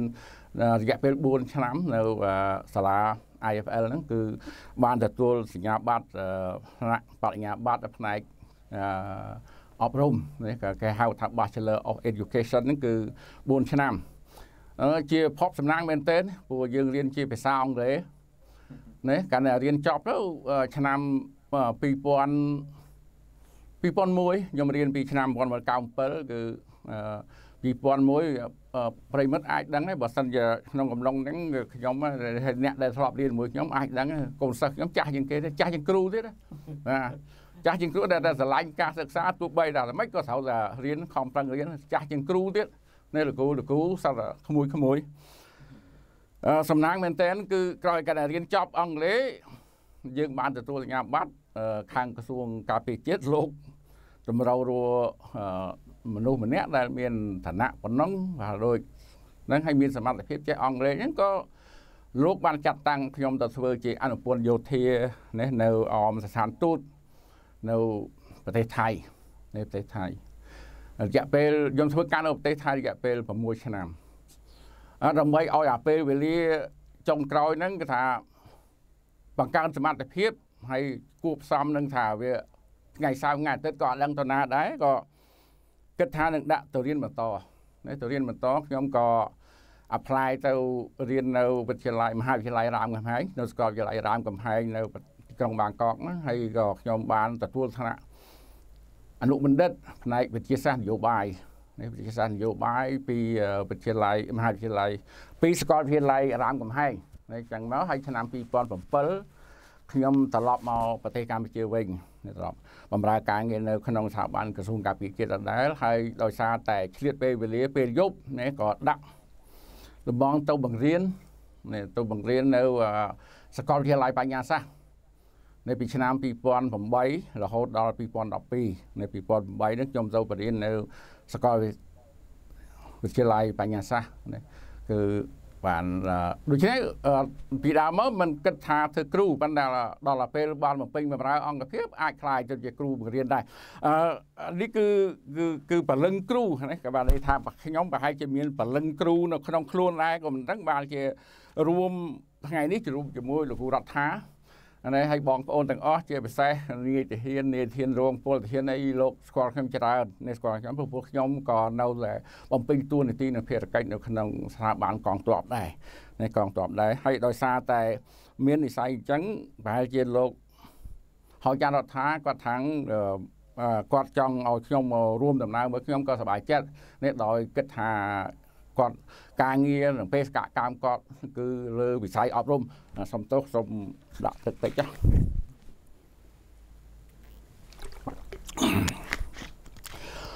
ខ្ញុំក៏បានរួមដែរគឺគោលបំណងចង់តែឲ្យការងារអប់រំនេះបានល្អប្រសើររួមជាមួយរដ្ឋាភិបាលមិនមែនថារដ្ឋាភិបាលលោកមិនមែនទេខ្ញុំគិតទៅប្រៀបធៀបបន្លូវគឺល្អល្អមែនតើល្អហើយហើយជាពិសេសក្នុងដំណាក់កាលចុងក្រោយគឺ ក្រក្រមការដឹកនាំរបស់ឯកបណ្ឌិតឯកឧត្តមបណ្ឌិតសភាចាមួយរដ្ឋមន្ត្រីសពថ្ងៃលោកល្អមែនទែនខ្ញុំសូមសរសើរគឺការងារអប់រំរីកចម្រើនរីកចម្រើនអញ្ចឹងខ្ញុំគិតឃើញថានៅក្នុងស្មារតីដែលដែលរដ្ឋាភិបាល leading លោកគាត់សិក្សាស្រាវជ្រាវមើលឃើញថាអ្នកដឹកនាំអាចចេញចេញពីគ្រូបង្រៀនច្រើនណាគ្រូបង្រៀនច្រើនណា នេះហើយគ្រូបង្រៀនកុំលោកកុំគិតថានៅតែគ្រូបង្រៀនមួយជីវិតហើយគាត់ថាដូចអត់មានតណាតណៃអាហ្នឹងក៏ក៏ទេខ្ញុំមើលឃើញដូចជានាយកនៅអេសេរីដានេះពីដើមប្រហែលជាលោកគ្រូបង្រៀនដែរទេនេះបងប្អូនក៏អាចឃើញហើយភាគច្រើនក៏អ្នកអ្នកជាគ្រូបង្រៀននេះគ្រូបង្រៀននេះគ្រូបង្រៀនអញ្ចឹងថ្ងៃនេះគឺខ្ញុំរួមចំណែកតិចចុះជាមួយនឹងកម្មវិធីរបស់យើងថ្ងៃនេះគឺថា អឺទី1គឺគ្រូគឺគឺជាអ្នកដឹកនាំណាគ្រូគឺជាអ្នកដឹកនាំគ្រូគឺជាអ្នកដឹកនាំខ្ញុំថ្ងៃនេះក៏សូមអរគុណលោកគ្រូខ្ញុំដំបងបំផុតណាលោកលោកនៅនៅមានជីវិតរស់នៅណាទៅតែបានជួបគាត់ដែរហើយកាលដែលខ្ញុំរៀនកាលពីឆ្នាំ60ចូលថ្នាក់ទី12ថ្នាក់កមារដ្ឋានលោកគ្រូខ្ញុំគឺលោកសង្ឃណាលោកសង្ឃ លោកសង្ឃកាលបរៀនគាត់បរៀនខ្ញុំដំបងហើយឥឡូវលោកក្រៅពីតាំងពីឆ្នាំហ្នឹងមកគាត់នេះគាត់ឡើងចប់ពីលោកសង្ឃគាត់ក្លាយជាប្រធានគណៈកម្មការអាចារ្យឥឡូវហ្នឹងគាត់ប្រធានគណៈកម្មការអាចារ្យខ្ញុំក៏បានជួបគាត់ខ្ញុំក៏សម្ដែងនៅការគោរពខ្ញុំនិយាយក៏គោរពគាត់ណាស្រឡាញ់គាត់ណាលោកគ្រូទោះបីកាលនៅ បង្រៀនខ្ញុំគាត់វ័យខ្ញុំមែនណាប៉ុន្តែខ្ញុំគោរពគាត់លោកគ្រូខ្ញុំហៅលោកគ្រូក្រេះលោកគ្រូក្រេះនិងបងប្អូននៅខាងស្រុកខ្ញុំនឹងប្រហែលជាអ្នកណាក៏ស្គាល់ដែរលោកគ្រូនឹងកាចណាស់នេះកាចណាស់ធ្លាប់ឲ្យខ្ញុំលុតជង្គង់លើលើអាសបកខ្នល់ចាស់ចាស់ហ្នឹងក៏ធ្លាប់ហើយហ្នឹងបាទបាទគ្រូគឺជាអ្នកដឹកនាំនេះកន្លែងនេះខ្ញុំចង់និយាយពីគ្រូនិងអ្នកដឹកនាំណាមិនតែគ្រូនេះគ្រូគឺ គំរូមិនចឹងណាគ្រូមកពាក្យថាគរុនេះការបកស្រាយគឺគរុគឺអ្នកដែលមានសមត្ថភាពអ្នកមានចំណេះដឹងខ្ពស់ប៉ុន្តែខ្ញុំនិយាយពីរឿងមួយទេគឺគំរូហ្មងខ្ញុំប្រើខ្ញុំឆ្លាញ់ពាក្យថាគ្រូគឺជាគំរូមុនគេបំផុតយើងនិយាយពីគ្រូបើគ្រូរមុនដំបងបំផុតហៅថាគ្រូដើម គឺឪពុកម្ដាយឪពុកម្ដាយគ្រូដើមហ្មងហ្នឹងគឺបង្រៀនយើងឲ្យចេះសើចចេះញញឹមចេះ អឺឆ្លើយចាស់ឆ្លើយបាតហើយពាក្យមនុស្សដែលយើងទាំងអស់ក្នុងសង្គមខ្មែរយើងជាទូទៅហ្នឹងគឺគឺសម្ដីមុនដំបូងបំផុតគឺចេះឆ្លើយចាស់និងឆ្លើយបាតហ្នឹងហ្មងណាគឺបង្រៀនកូនឲ្យចេះឆ្លើយចាស់និងឆ្លើយបាតណាគាត់ថាវាអាចថាពីរហ្នឹងជួនកាលកូនស្រីទៅច្រឡំទៅឆ្លើយបាតទៅមួយជីវិតទៅឆ្លើយតែបាតរហូតទៅហើយកូនប្រុសលេងតែចាស់រហូតមួយជីវិតក៏មានដែរប៉ុន្តែយើងពាក្យថាពាក្យពីរម៉ាត់ហ្នឹងគឺ គ្រូបង្រៀនយើងមុនគេបងអស់មកគឺពាក្យចំពោះកាយវិការគឺមុនដំបូងអស់ក៏ឪពុកម្ដាយយើងរៀនឲ្យចេះសំពះនេះចេះសំពះនេះក្រោយមកឲ្យចេះបាយបាយអានេះគឺក្រោយឯងប៉ុន្តែមុនដំបូងបំផុតគឺឲ្យចេះសំពះខ្ញុំចាំនេះខ្ញុំចេះមុនគេគឺចេះសំពះខ្ញុំប្រកែខាងសំពះតែមួមមួមខ្ញុំសំពះទាំងអស់ស្អីក៏សំពះដែរខ្ញុំហ្នឹងគឺទៅជាទម្លាប់នេះទៅជាទម្លាប់ អាហ្នឹងយើងគិតថាគ្រូមុនដំបូងគឺគ្រូគឺឪពុកម្ដាយយើងមើលឃើញពាក្យពិភាក្សាទៅថាឪពុកគ្រូគឺជាឪពុកម្ដាយប៉ុន្តែយើងអត់មានអត់បាននិយាយថាឪពុកម្ដាយគឺជាគ្រូអត់អត់ដូចអត់សូវមាននិយាយប៉ុន្តែយើងមើលឃើញគាត់ជាគ្រូដំបូងបំផុតហ្មងចុះឥឡូវយើងអាចប្រើពាក្យបានទេឲ្យពីរហ្នឹងឲ្យឪពុកម្ដាយ គឺជាគ្រូហើយគ្រូគឺជាឪពុកម្ដាយនេះសូមឲ្យលោកអាទី1ទី2ហ្នឹងចេញពុកម្ដាយទី1ពុកម្ដាយទី2ហ្នឹងណាកុំឲ្យវាពាក្យហ្នឹងវាវាភ្ជាប់គ្នាទៅវិញទៅមកដើម្បីឲ្យផ្ទះនិងសាលាហ្នឹងឲ្យវាទៅសឹងតែកន្លែងតែមួយទៅណាបើកូនសិស្សបើអបសុកពីផ្ទះរត់ទៅសាលាហើយបើអបសុកពីសាលារត់ទៅផ្ទះនៅពីហ្នឹងទៅព្រោះនៅផ្ទះមានឪពុកម្ដាយនេះមានគ្រូនៅផ្ទះមានគ្រូ មកសាលាមានឪពុកម្ដាយអញ្ចឹងចង់ឲ្យពាក្យពីរហ្នឹងថាគ្រូគឺជាឪពុកម្ដាយឪពុកម្ដាយគឺជាគ្រូពីហ្នឹងគឺគឺល្អមែនទែនដើម្បីឲ្យថាអាអាអាគំនិតរបស់យើងហ្នឹងគឺឲ្យអាគូក្បាលរបស់យើងចាំថាគ្រូគឺជាឪពុកម្ដាយឪពុកម្ដាយគឺជាគ្រូកុំឲ្យគិតតែទី1ទី2មួយទី1ទី2ជួនកាលច្រឡំដែរណាច្រឡំមិនដឹងកាលណាទី1ណាទី2ដែរអានេះគឺការគិតរបស់ខ្ញុំទេណា ឥឡូវលោកគ្រូអ្នកគ្រូគាត់បានជម្រាបជូនឲ្យពីស្អីគ្រូល្អគ្រូឆ្នើមគ្រូអីខ្ញុំមិនមិនមិនបានលំអិតទេខ្ញុំសូមនិយាយពីអ្នកដឹកនាំពីព្រោះខ្ញុំក៏បានឆ្លងកាត់អឺភាពជាអ្នកដឹកនាំខ្លួនឯងជាអ្នកដឹកនាំណាដឹកនាំពាក្យថាដឹកនាំដូចខ្ញុំបានជម្រាបពីម្សិលមិញហ្នឹងថាមកពីពាក្យដឹកហើយនឹងនាំនេះបុកចូលគ្នាដឹកឲ្យដោយនាំឲ្យដល់ ដឹកឲ្យដោយដឹកមិនបើថាពាក្យដឹកឲ្យដោយវាពិបាកដែរយើងវាធ្ងន់ដែរដឹកណាដឹកហ្នឹងគឺថាបើនិយាយពីសัตว์ដល់តែដឹកណាបើរុញឲ្យវាទៅមុខយើងកម្រណាដល់សัตว์ហ្នឹងវាដឹងណាបានបានដឹកហើយនាំណានាំជួនកាលយើងគ្រាន់តែប្រាប់ប្រាប់ទេគេគេទៅបានណាពាក្យពីរហ្នឹងល្អមែនទែនយើងយើងយើងមកបញ្ចូលគ្នាទៅដឹកនាំណាដឹកនាំ អ្នកដឹកនាំតតែមានសមត្ថភាពនេះតតែមានសមត្ថភាពហ្មងបានដឹកនាំគេបាននេះដឹកនាំគេបាន សមត្ថភាពដំបូងបំផុតគឺទៅដឹកនាំខ្លួនឯងសិនដឹកនាំខ្លួនឯងសិនថាដឹកនាំខ្លួនឯងយ៉ាងម៉េចហ្នឹងគឺបងប្អូនគឺបានបានដឹងថាត្រូវធ្វើខ្លួនឯងជាគំរូគេសិនបានតែដឹកនាំគេបាននេះបានដឹកនាំគេបានហើយបើខ្លួនឯងមិនគំរូផងខ្លួនឯងដឹកនាំខ្លួនឯងអត់បានផងហើយទៅដឹកនាំគេមិនម៉េចណា ឧទាហរណ៍ថាយើងនិយាយរឿងខ្លីមួយ ការកណ្ដាណាត់ជួបថាឥឡូវសូមជួបគ្នាម៉ោង7ចានេះតែម៉ោង7ហ្នឹងគឺត្រូវតែចាប់ដើមធ្វើការហ្មងណាអាហ្នឹងចរិតជាអ្នកដឹកនាំនេះក៏ម៉ោង7អ្នកដឹកនាំមកអង្គុយចាំអ្នកដែលត្រូវគេដឹកហ្នឹងក៏អត់មកនេះឬក៏អ្នកដែលគេត្រូវគេដឹកហ្នឹងមកដល់ហើយអ្នកដែលត្រូវដឹកត្រូវនាំគេហ្នឹងក៏អត់ឃើញមកហ្នឹងក៏អត់អត់បានដែរដឹកនាំយើងថាត្រូវតែសច្ចៈហ្មងសច្ចៈហ្មង អញ្ចឹងអ្នកដឹកនាំពីម្សិលមិញខ្ញុំបាននិយាយថាជាអ្នកដឹកនាំត្រូវមានវត្ថុទិប3យ៉ាងប៉ុន្តែវត្ថុទិប3យ៉ាងហ្នឹងគឺវាមានស្រេចហើយហើយតាំងពីបង្កើតមកមកហ្នឹងគឺទេវតាគាត់ផ្ញើមកឲ្យស្រេចហ្មងនេះទេវតាគាត់ផ្ញើមកជាមួយពុកម្ដាយយើងឲ្យស្រេចហ្មងយើងកើតមកយើងមានហ្មងយើងមាននឹងខ្លួនយើងហ្មងដូច្នេះអាខ្លួនយើងសិនមុនគេណាទី1គឺក្បាល ទី2គឺបេះដូងទី3គឺដៃ អាហ្នឹងដែលខ្ញុំនៅតែស្រឡាញ់ពាក្យហ្នឹងដែលភាសាអង់គ្លេសថា head heart and hand head heart and hand នេះគឺយើងថា3 H អក្សរភាសាអង់គ្លេស H នេះឬក៏ H ជាភាសាបារាំងហ្នឹងណាអាហ្នឹងសំខាន់ណាស់បងប្អូននេះក្បាលនេះត្រូវគិតគិតឲ្យគិតត្រូវធ្វើយ៉ាងម៉េចណាគិតហ្នឹងគិតយ៉ាងម៉េចធ្វើយ៉ាងម៉េចបាននិយាយថាយើងធ្វើផែនការណាគិតទៅអនាគតណាគិតឲ្យខ្ពស់ ណាគិតឲ្យខ្ពស់ខ្ញុំមិនដែលគិតថាខ្ញុំបានមកធ្វើទាហានហើយក៏បានឡើងពាក់អឺផ្កាយសំទោសឡើងមានផ្កាយពេញនៅលើស្មាខ្ញុំខ្ញុំអត់ដែលគិតពីទៅខ្ញុំអត់ដែលគិតទេណាខ្ញុំគិតថានឹងធ្វើអ្វីឲ្យវាជាគ្រូបង្រៀនហើយដល់រៀនហួសពីសមត្ថភាពជាគ្រូបង្រៀនបន្តិចមកខ្ញុំក៏នឹកសម័យថាចង់ទៅជាវិស្វករនេះវា ពួកខ្ញុំអត់ដែលនឹកសម័យថាត្រឡប់ទៅធ្វើស្រែវិញរៀនដើម្បីថាងត្រូវទៅវិញត្រូវទៅកាប់ភ្លឺស្រែមិនត្រូវទៅលើកត្រូវទៅសាបមិនខ្ញុំអត់បានគិតទេខ្ញុំមានក្តីសម័យត្រូវតែខ្ពស់អានេះគឺតែដឹកនាំត្រូវតែមានគោលដៅឲ្យច្បាស់លាស់គោលដៅឲ្យច្បាស់លាស់ហើយគោលដៅហ្នឹងដែលអាចដាក់ហ្នឹងគឺត្រូវតែធ្វើបានកុំដាក់ឲ្យអត់ធ្វើមិនបានណាតែកាលណាយើងដាក់គោលដៅខ្ពស់ហើយយើងធ្វើមិនបានតែបរាជ័យតែម្ដងគឺគឺដួលហើយគឺយើងលេងតែបរាជ័យគឺតា យើងនោះតែចាញ់ម្ដងតែបាក់ម្ដងគឺបាក់ហ្មងបាក់សឹងបាច់ជីវិតបាក់សឹងជីវិតណាដូច្នេះក្នុងការដាក់គោលដៅខ្ញុំសនុំពុតដាក់ដឹកនាំទាំងអស់ដាក់ឲ្យខ្ពស់ចាស់ទោះបីថាវាបានជោគជ័យមិនជោគជ័យអីអាហ្នឹងយើងចាំចាំពិចារណាទៀតថាតើយើងរកវិធីសាស្ត្រយ៉ាងណាដើម្បីឲ្យទៅដល់ខ្ញុំមើលឃើញអ្នកប្រាជ្ញគាត់ដាក់មកទុកឲ្យយើងហើយគាត់ប្រហែលជាគាត់ពិសោធន៍មកកន្លងមកគាត់ថា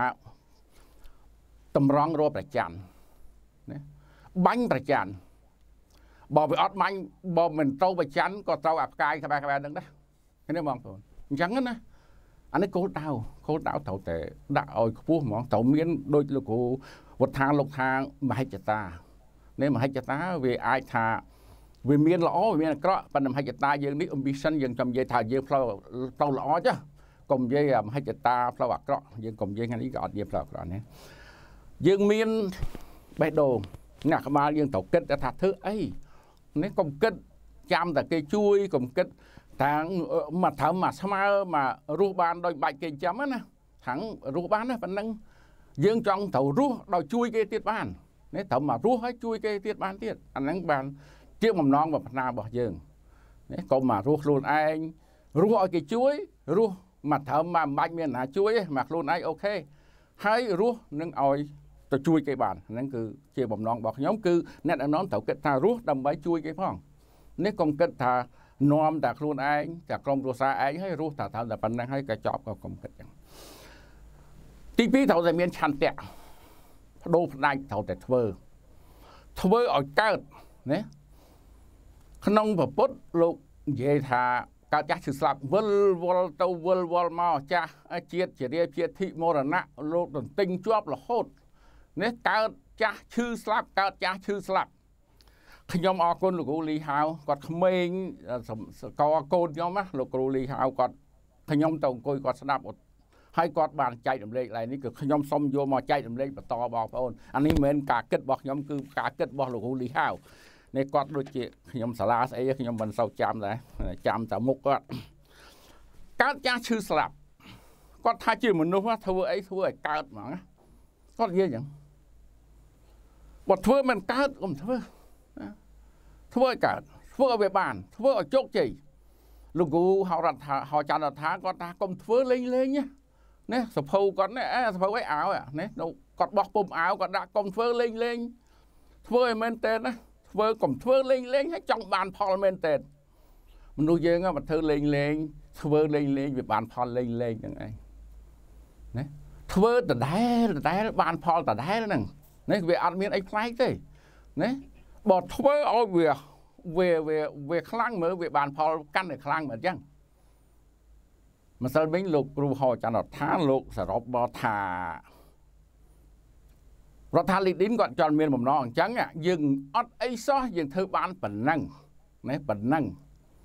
ឥឡូវយើងមានប៉ុណ្ណឹងតើសួរយើងអាចធ្វើបានប៉ុណ្ណាណាណា យើងមានប៉ុណ្ណឹងប៉ុណ្ណេះប៉ុណ្ណេះប៉ុណ្ណេះណាយើងធ្វើបានប៉ុណ្ណឹងហើយបើយើងមានប៉ុណ្ណឹងតើយើងអាចធ្វើបានប៉ុណ្ណាទៅមុខទៀតអ្នកដឹកនាំត្រូវគិតអំពី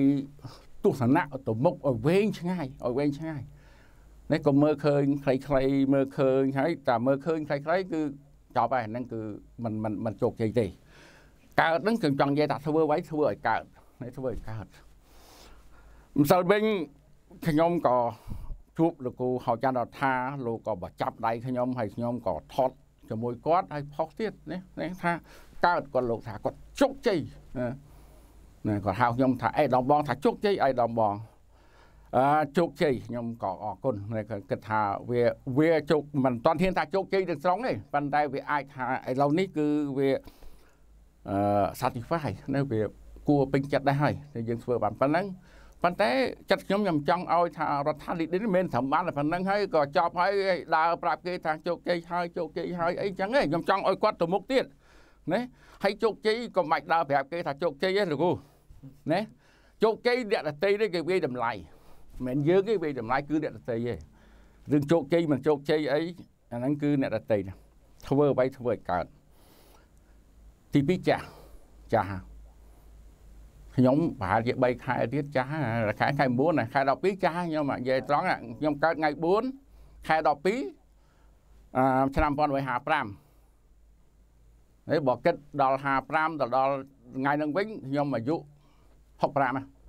ល្មមអង្គការសហជាតិកំណត់ថាចាស់មែនណាប៉ិនកុំគិតថាខ្លួនឯងចាស់ខ្ញុំនិយាយត្រង់ខ្ញុំអត់ដែលគិតថាខ្លួនឯងចាស់លើសអាយុមួយថ្ងៃអត់ដែលគិតទេអូខេ អត់ដែលគិតទេដូច្នេះខ្ញុំគិតថាកុំគិតថាខ្លួនឯងចាស់ហើយតែខ្លួនឯងចាស់ហើយតែចាស់ហើយអត់ចង់ធ្វើអីណាតែចាស់ហើយដេកជិលចាស់ហើយហើយមនុស្សយើងតាតាគិតតាហ្នឹងតាចាស់ហើយអញមានធ្វើអីចាស់ជិលយ៉ាងច្រើន3 4ឆ្នាំទៀតទៅបាត់មិននិយាយត្រង់ណាខ្ញុំអត់ទេខ្ញុំអត់ដែរគិតថាខ្លួនឯងចាស់ហើយត្រូវតែធ្វើធ្វើសកម្មភាព ពួកខ្ញុំត្រូវនៅរស់ឥឡូវ65ខ្ញុំត្រូវរស់នៅ60 35ឆ្នាំទៀតនោះហ្នឹងដូច្នេះ35ឆ្នាំដំបូងខ្ញុំត្រូវអីសំទោសនិយាយលេងណាចាស់ខ្ញុំចង់និយាយថាចាស់ចិត្តចាស់គំនិតណាលោកគ្រូលីហៅគាត់និយាយអញ្ចឹងថាចាស់ចិត្តចាស់គំនិតចាស់ទុំត្រូវគិតឲ្យប្រៀបដូចចាស់ទុំអញ្ចឹងកុំឆេវកុំឆាវកុំខឹងកុំអីណាណាធ្វើម៉េចឲ្យចាស់ចិត្តចាស់គំនិតណាហ្នឹង ទី2ឈឺណាឈឺមើលអារឿងឈឺនេះខ្ញុំទឹកនោមផ្អែម13ឆ្នាំហើយតាំង2007មកប៉ុន្តែខ្ញុំអត់ដែលឈឺខ្ញុំមិនដែលរក្សាឈឺទេហើយអត់ដែលលាក់ទៀតនេះអ្នកខ្លះទឹកនោមផ្អែមខំលាក់អឺលាក់ដល់ហើយទៅបាត់អស់លីងនេះអត់ទេខ្ញុំថាឈឺឈឺប៉ុន្តែខ្ញុំចង់និយាយឡើងនេះត្រូវមានការឈឺចាប់ណាឈឺត្រូវឈឺចាប់ឬក៏ចេះឈឺឆ្អាលមានពីរឈឺចាប់និងឈឺឆ្អាលអាឈឺចាប់ វាជាពាក្យអវិជ្ជមានទេក៏ប៉ុន្តែវាអាចធ្វើឲ្យយើងវិជ្ជមានបានវាឈឺចាប់ហ៎ឈឺចាប់ហ៎ខ្ញុំនិយាយពីក្មេងបន្តិចរឿងខ្ញុំបន្តិចខ្ញុំស្រុកខ្ញុំគេហៅស្រុកបារាយនេះនៅក្បែរក្បែរហ្នឹងសិតតែស្រុកគេធូធាគ្រូគាត់បើជាងខ្ញុំជាងស្រុកខ្ញុំពេលទៅខ្វៀលគោខ្វៀលកបីនៅអីស្រុកអីស្រែនៅអីអីឆ្ងាយពីភូមិទៅជួបក្មេងៗនៅភូមិក្បែរហ្នឹង ភូមិនៅភូមិឃុំក្បែរហ្នឹងហើយគាត់ឌីលខ្ញុំពួកខ្ញុំថាមកអាស្រុកបារាយស៊ីបាយសងៃប្រហុកខ្មៅអែចានឆែបជុំវិញជឿចាប់ណាបងប្អូននិយាយត្រង់គាត់និយាយនឹងប៉ុន្តែយើងអត់ខឹងគាត់ទេវាធៀបពិតចឹងមែនព្រោះស្រុកខ្ញុំក្រណាស្រុកខ្ញុំក្រឪពុកខ្ញុំក្រគ្រួសារខ្ញុំក្រខ្ញុំអត់ដែរជឿចាប់ណាអាហ្នឹងអាការឈឺចាប់របស់យើងហ្នឹងយើងយកមកណាយកមក ណាដោយលោកគ្រូអ្នកគ្រូអញ្ចឹងគេថាគ្រូប្រពន្ធល្អ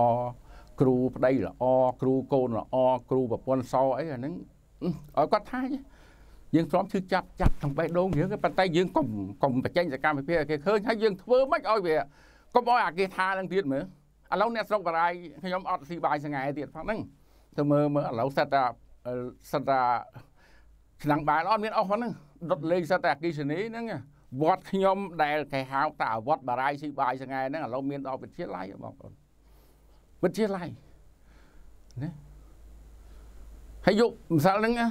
បើបច្ចៅអត្តកាវត្តលោកទូរស័ព្ទមកខ្ញុំថាអៃដំអៃដំឥឡូវប្រហែលថ្ងៃហ្នឹងគ្រាន់តែ3វេនបានជាង10000ទេលោកថាលុយដែលបុតបរិស័ទចូលសម្រាប់ជុំហ្នឹងយកធ្វើបណ្ណាល័យឲ្យសិស្សទៀតឡើយស្វែងព្រះអង្គក៏អរប្រគុណព្រះអង្គ ប្រហែលទុកអស់7 80000ទៀតហេមិននិយាយចឹងឲ្យបងប្អូនជួយទេហ្នឹងខាងសុកខ្ញុំចាហ្នឹងទុកឲ្យក្របបាយសងៃហ្នឹងកាត់ចែងណាឈឺចាប់បងប្អូនណាចេះជួយឈឺឆ្អាលម្សិលមិញអ្នកគ្រូលោកមានប្រសាសន៍ខ្ញុំនឹកស្នោះខ្លួនគាត់ថាគាត់ជួនកាលគាត់មើលខុសត្រូវកូនគេហ្នឹងជាងកូនគាត់ទៀតណានេះអាហ្នឹងឈឺទៅមើលជួនកាលទៅកាត់ក្តីក្មេងក្មេងឆ្លោះគ្នាត្រូវទៅជួកាត់ក្តីឲ្យ ដូច្នេះគ្រូបង្រៀនមិនមែនតែត្រឹមតែជាពុកម្ដាយទី2ទេខ្លាំងជាពុកម្ដាយទី1ទៀតណាឥឡូវពុកម្ដាយទី1ទាំងភូមិខ្ញុំទាំងភូមិគេអាពួកទី1អត់សូវនៅទេពុកម្ដាយទី1ហ្នឹងវាបានតែកូនទៅទម្លាក់ទៅឲ្យអាពុកម្ដាយទី3យាយតាវាមើលហ្នឹងបងខ្ញុំគាត់មើលចៅ3 4រាល់ថ្ងៃអាម៉ែអូវាឡើងមកស៊ីដល់ពេញអស់ហើយឃើញទេបងប្អូនហ្នឹងយើងគួរថាគួរតែមោទនភាពដែលមានលោកគ្រូអ្នកគ្រូក៏ជួយមើលកូនយើងអ្នក គ្រូមើលកូនយើងហើយលោកគ្រូអ្នកគ្រូគាត់ដឹងហើយគាត់ថាមានតែគាត់ទេដែលអាចមើលមើលមើលកូនចៅរបស់បងប្អូនយើងបានណាអាហ្នឹងយើងនិយាយពីឈឺឈឺចាប់និងឈឺចាលរឿងស្លាប់នេះស្លាប់ជិះមិនរួចទេបងប្អូនអ្នកណាក៏ជិះមិនផុតដែរណាប៉ុន្តែកាន់តែស្លាប់ទៅវាវាយ៉ាងម៉េចយ៉ាងម៉ាពិបាកមានមិត្តភ័ក្ដិហែហមអត់ខ្ញុំមិនដឹងទេអាហ្នឹង តែស្លាប់ប៉ុន្តែជិះស្លាប់ប៉ុន្តែស្លាប់ក្នុងនេះខ្ញុំចង់និយាយថាអ្វីអ្វីដែលវាកើតមកដែលវាជាអាក្រក់ឲ្យវាស្លាប់ទៅនេះកុំលើកកុំមកកោះកុំមកកកាយវានំមកនាំគ្នាទៅហិតអារឿងអាក្រក់អាក្រក់ហ្នឹងណាហើយកុំរំលឹកពីព្រោះសម័យនោះយើងនិយាយថាវាអញ្ចឹងឥឡូវយើងដូចឧទាហរណ៍ខ្ញុំថាគ្រូគឺជាឪពុកម្ដាយទី2ហ្នឹងលោកពីដើមក៏លោកនិយាយអញ្ចឹង ប៉ុន្តែកាលឡើយយើងមិនលុបពាក្យកោលណាយើងមិននៅតែគោរពអញ្ចឹងគាត់ឪពុកម្ដាយទី2នៅឪពុកម្ដាយទី3កាលយើងកាលថាជាឪពុកម្ដាយនៃសិស្សពីដូរពីទី2មកទៅជាសិស្សវិញទៅចេះទេអញ្ចឹងណាខ្ញុំនិយាយនេះខ្ញុំចង់ឲ្យសាលារៀនហើយនឹងផ្ទះនិយាយរួមគឺក្រុមគ្រួសារគ្រូបង្រៀនគឺសហការគ្នាបានល្អពីព្រោះអនាគតសម្រាប់កូនចៅយើង កូនចៅយើង យើងជាឪពុកម្ដាយនេះឲ្យបានល្អនេះ នេះខ្ញុំរំលឹកឡើងវិញផ្ទះអាចคล้ายជាសាលារៀននេះប្រសិនបើឪពុកម្ដាយជាគ្រូហាក់ចុះបើឡូវនៅផ្ទះឡូវបើនៅសាលារៀនក៏មានឪពុកម្ដាយដែរអាអាសាលារៀនក៏ជាផ្ទះដែរនេះសាលារៀនក៏ផ្ទះដែរដូច្នេះក្មេងមានផ្ទះពីរមិនស្រួលជាងណាអត់បាយហូបនៅផ្ទះទៅហូបបាយនៅសាលាទៅណាបើសាលាអត់មានទៅផ្ទះបាយផ្ទះហូបបាយផ្ទះអ្នកគ្រូទៅហូបបាយផ្ទះលោកគ្រូទៅពួកអ្នកគ្រូលោកគ្រូគាត់ ជាម៉ែឪដែរតាជាពុកម្ដាយដែរតាមិនចឹងយើងធ្វើអញ្ចឹងចង់ឲ្យសង្គមយើងវាមើលឃើញនេះចំណុចមួយទៀតលោកគ្រូអ្នកគ្រូខ្លួនឯងផ្ទាល់ក៏ដោយដែលជាអ្នកដឹកនាំជាឋានៈដឹកនាំបច្ចុប្បន្នក្តីធ្វើអ្វីត្រូវមានគោលដៅអាគោលដៅខ្ញុំមានទេអាគោលដៅហើយត្រូវមានអ្វីមួយនេះខ្ញុំសួរលោកគ្រូហៅច័ន្ទរដ្ឋាលោកក៏ថាអាចទៅជាអភិក្រមក៏បាន អាចជាបាវចនាក៏បានតែខ្ញុំចង់ឲ្យប្រើពាក្យ value តម្លៃអីគុណតម្លៃវិញហ្នឹងក៏ឧទាហរណ៍ខ្ញុំនិយាយសំលើកតិចនេះលើកឧទាហរណ៍ដូចជាសម្ដេចនាយកយើងនាយករដ្ឋាភិបាលសម្ដេចនាយករដ្ឋមន្ត្រីលោកមានគោលដៅច្បាស់លាស់របស់លោកហើយអាហ្នឹងយើងនិយាយតិចហ្នឹងណាព្រោះយោបាយនៃរដ្ឋាភិបាលយើងនៅក្រមរដ្ឋាភិបាលយើងត្រូវតែនិយាយលោកមានវិធីសាស្ត្រសម្រាប់ធ្វើដើម្បីឲ្យល្អសម្រាប់ឲ្យមនុស្សល្អ សម្រាប់ឲ្យអឺមន្ត្រីល្អគាត់ដាក់អភិក្រម5អភិក្រម5ទី1គឺឆ្លោះកញ្ចក់ទី2ងូទឹកនេះកន្លែងនេះមានការច្រឡំគ្នាតិចធ្លាប់មានការជជែកគ្នានេះគេថាងូតទឹកអីមកមកឆ្លោះកញ្ចក់ខ្ញុំថាអត់ទេឆ្លោះកញ្ចក់សិនបើដឹងថាស្អាតហើយចាំបាច់ទៅមួយទឹកធ្វើអីនាំខាតទឹកនេះយើងមកឆ្លោះកញ្ចក់ដឹងថាបើមិនស្អាតបានយើងទៅមួយទឹកមិនទៅងូតទឹកអញ្ចឹង ងូតទឹកដោះក្អែលផងនេះកុំលេតែចាក់ទឹកឈុលឈុលមកវិញទៅប្តឹងទឹកណាដោះក្អែលមានជំងឺត្រូវតែព្យាបាលចំណុចខ្វះខាតទៅព្យាបាលឥឡូវលោកដល់អភិក្រមទី5គឺវះកាត់នេះអាអភិក្រមនេះគឺជា frame មួយគឺសម្រាប់ឲ្យលោកធ្វើឲ្យមន្ត្រីលោកធ្វើទាំងអស់គ្នាជាពុំហ្នឹងជាពុំត្រូវតែដើរតាមពុំហ្នឹងណាតែដើរតាមតាមពុំហ្នឹង ខ្លួនយើងម្នាក់ម្នាក់ក៏អញ្ចឹងដែរបងប្អូនគឺត្រូវមានពុំខ្លួនឯងនេះពុំខ្លួនឯងដោយគ្រូរដ្ឋាក៏មានពុំក៏របស់គាត់ខ្ញុំក៏មានពុំខ្ញុំដែរណាខ្ញុំមានពុំរបស់ខ្ញុំដែរពុំខ្ញុំមាន4ទី1ហ៊ានតាំងពីតូចមកខ្ញុំកើតហ៊ានហ្មងបាទណាហ៊ានអីទីទី1កាលកើតមកខ្ញុំហ៊ានចុះហាត់លេខាថា100ឆ្នាំក្រោយខ្ញុំត្រូវតែងាប់ខ្ញុំហ៊ានខ្ញុំហ៊ានហ៊ានចុះលេខាភ្លាមសញ្ញេភ្លាមមក គេបងប្អូនហើយតាហ៊ានហ្នឹងយើងត្រូវហ៊ានធ្វើហ៊ានទៅរៀនដើរទៅរៀនធ្វើអីក៏ត្រូវតែហ៊ានដែរពាក្យតាហ៊ានកន្លែងនេះខ្ញុំមិនចង់និយាយថាកំអយថាវាវាអាក្រក់ណាមិនមែនហ៊ានរឿងអាក្រក់ទេហ៊ានធ្វើអួតអាងតែកុំអអង្គអាចកុំទោសអង្គអាចតែកុំអួតអាងនេះថ្ងៃហ្នឹងដូចខ្ញុំជាផុសផេកថ្ងៃហ្នឹងខ្ញុំដាក់ថ្ងៃហ្នឹងខ្ញុំថា អង្គអាចតែមិនអួតអាងកុំអួតនេះខ្លួនឯងក្លាហានដើរប្រាប់គេអញក្លាហានណាអញក្លាហានណានេះគង់ហ៊ានមិនអញ្ចឹងទីបំផុតប្រពន្ធតាអ្នកបាទបាទចំណុចទី2គឺស្មោះស្មោះស្មើមិនស្មុគស្មាញខ្ញុំមានគោលដៅរបស់ខ្ញុំចឹងស្មោះមកមកជីវិតរបស់ខ្ញុំគឺខ្ញុំកុហកគេខ្ញុំពិបាកកុហកណាហើយរឿងដែលមិនពិតហើយទៅប្រាប់គេថាអាហ្នឹងវាពិត ហើយរឿងមិនពិតរឿងពិតប្រាប់គេថាមិនពិតខ្ញុំពិបាកដែរខ្ញុំសុំទោសអាហ្នឹងមួយគឺធ្វើប្រមាណពូម៉ែខ្ញុំក៏ប្រាប់មកកូនដែរត្រូវតែស្មោះត្រង់ខ្ញុំចាំកាលពីតូចខ្ញុំពីតូចពីលេងមួយក្មេងៗយើងរៀងចលើមដែរដល់គេដាក់មួយជើងមកដួលដល់ដួលទៅខ្ញុំដួលទៅវាផ្អៀងទៅវាធ្វើដៃចាក៏ងុកដែរខ្ញុំមកប្រាប់ម៉ែខ្ញុំថាម៉ែអើយខ្ញុំបាក់ដៃមកយំដាក់ម៉ែមកយាដាក់ម៉ែឲ្យម៉ែលួង ម៉ែគាត់ធ្វើដៃទៅទៅគាត់ថាអីកូនទៅល្ងាចឡើងម៉ែគាត់ប្រាប់ថាកូនកុំកុហកទេណាឃើញទេពាក្យគាត់ថាកុំកុហកគឺមានន័យថាស្មើនឹងស្មោះត្រង់ត្រូវតែស្មោះនៅស្មោះណាត្រូវតែស្មោះអូប្តីប្រពន្ធណារស់នៅមួយគ្នាបើមិនស្មោះត្រង់នឹងអត់បានទេមនុស្សត្រូវតែស្មោះត្រង់មួយគ្នាស្មោះស្មើកុំស្មុកស្មាញណាណាខិតខំធ្វើការឧស្សាហ៍នេះ អាសាណាខ្ញុំនិយាយត្រង់ចាំងពីតូចមកអាសាអាសារឿងអីបើមកពីរៀនវិញឃើញតែស្រូវនៅក្នុងត្បាល់កិនខ្ញុំអាសាណាដឹកនាំបងអូនដើរលេងបាត់ហ្នឹងដល់អាសាព្រោះអាសាមើលបងអូនបាទហ្នឹងអញ្ចឹងបាទមើលតែមិនស្រួលបងស្រីគាត់កំពុងធ្វើអីអីខ្ញុំអាសាខ្ញុំទៅដេកមុខផ្ទំអ្នកតានោះចាំមើលអ្នកមកពីផ្សារក៏លោកគេមានស្អីសែនឲ្យអ្នកតាយើងបានយកទៅផ្ទះវិញដែរអាសាលើកអួតឧស្សាហ៍ឧស្សាហ៍ព្យាយាមណាបងប្អូន គ្មានអ្នកណាចាស់ទេសម្រាប់ការសិក្សាអត់មានទេណា nobody is old for study ខ្ញុំចាំសម្ដីមេតបនៃមេខ្ញុំឯកឧត្តមនាយឧត្តមនៃពលរឿនថាងនាំនេះរៀនថារៀនអីចាស់ហើយហើយអីហើយមើលយាយយាយតាតាគាត់សូត្រធម៌ហ្នឹងហើយមានអីគាត់ចាស់យើងយើងទេគាត់ក៏រៀនបាននេះអាយ៉ាងកេញខ្ញុំនិយាយរាល់ថ្ងៃអត់ទាន់ចប់ទេណានេះមកពីខ្ជិល បើនិយាយតាមស្រុកខ្ញុំលេងអាយ៉ាងកេញមកចប់ត្រឡប់មកពីក្រោយវាជ្រះមកវិញគាត់លេងបានណាដូច្នេះកុំគិតថាចាស់រៀនមិនបានអត់ទេខ្ញុំថាចាស់ទៅតែរៀនរៀនតាំងពីថ្នាក់ Bachelor of Education នៅភ្នំពេញរៀនដល់ Master នៅស្រុកថៃខ្ញុំឯងមនុស្សចាស់ជាងគេហើយតែធ្វើអីដែលយើងចាស់ជាងគេយើងមានតែមជាងគេបងប្អូនណាយ៉ាងហោចណាស់ក៏គេគោរពដែរនេះគេថាអ៊ំនឹងចាស់ ông pú នឹងចាស់យ៉ាងហោចដែរគាត់ចាស់មែនគាត់ដូចប្រឹងវិញចាស់មែនតែនៅរឹងមាំហើយណាមិនសុបាយចិត្តចាស់ឲ្យនៅរឹងណាមិនធម្មតាណានេះហ្នឹងបងប្អូននិយាយលេងក្នុងនេះវា live វាដូចបងប្អូនទាំងអស់គ្នាណាយ៉ាងហ្នឹងណាទី3ទី4គឺត្រូវតែទំនាក់ទំនងល្អធ្វើការប្រស័យតាក់ទងល្អនេះភាសារបស់ខ្មែរយើងគេថាគូសមហ៎សមគួរនេះមិនអញ្ចឹង មកអានឹងមើលទៅដូចចេះគួរសមវេរៈតៈគាត់បើនេះកុំអោយទៅកញ្ចប់ងាកទៅលិចកញ្ចប់ងាកកើតកើតកញ្ចប់អត់ខ្ញុំចូលចិត្តព្រោះម៉ែខ្ញុំផ្ដាំ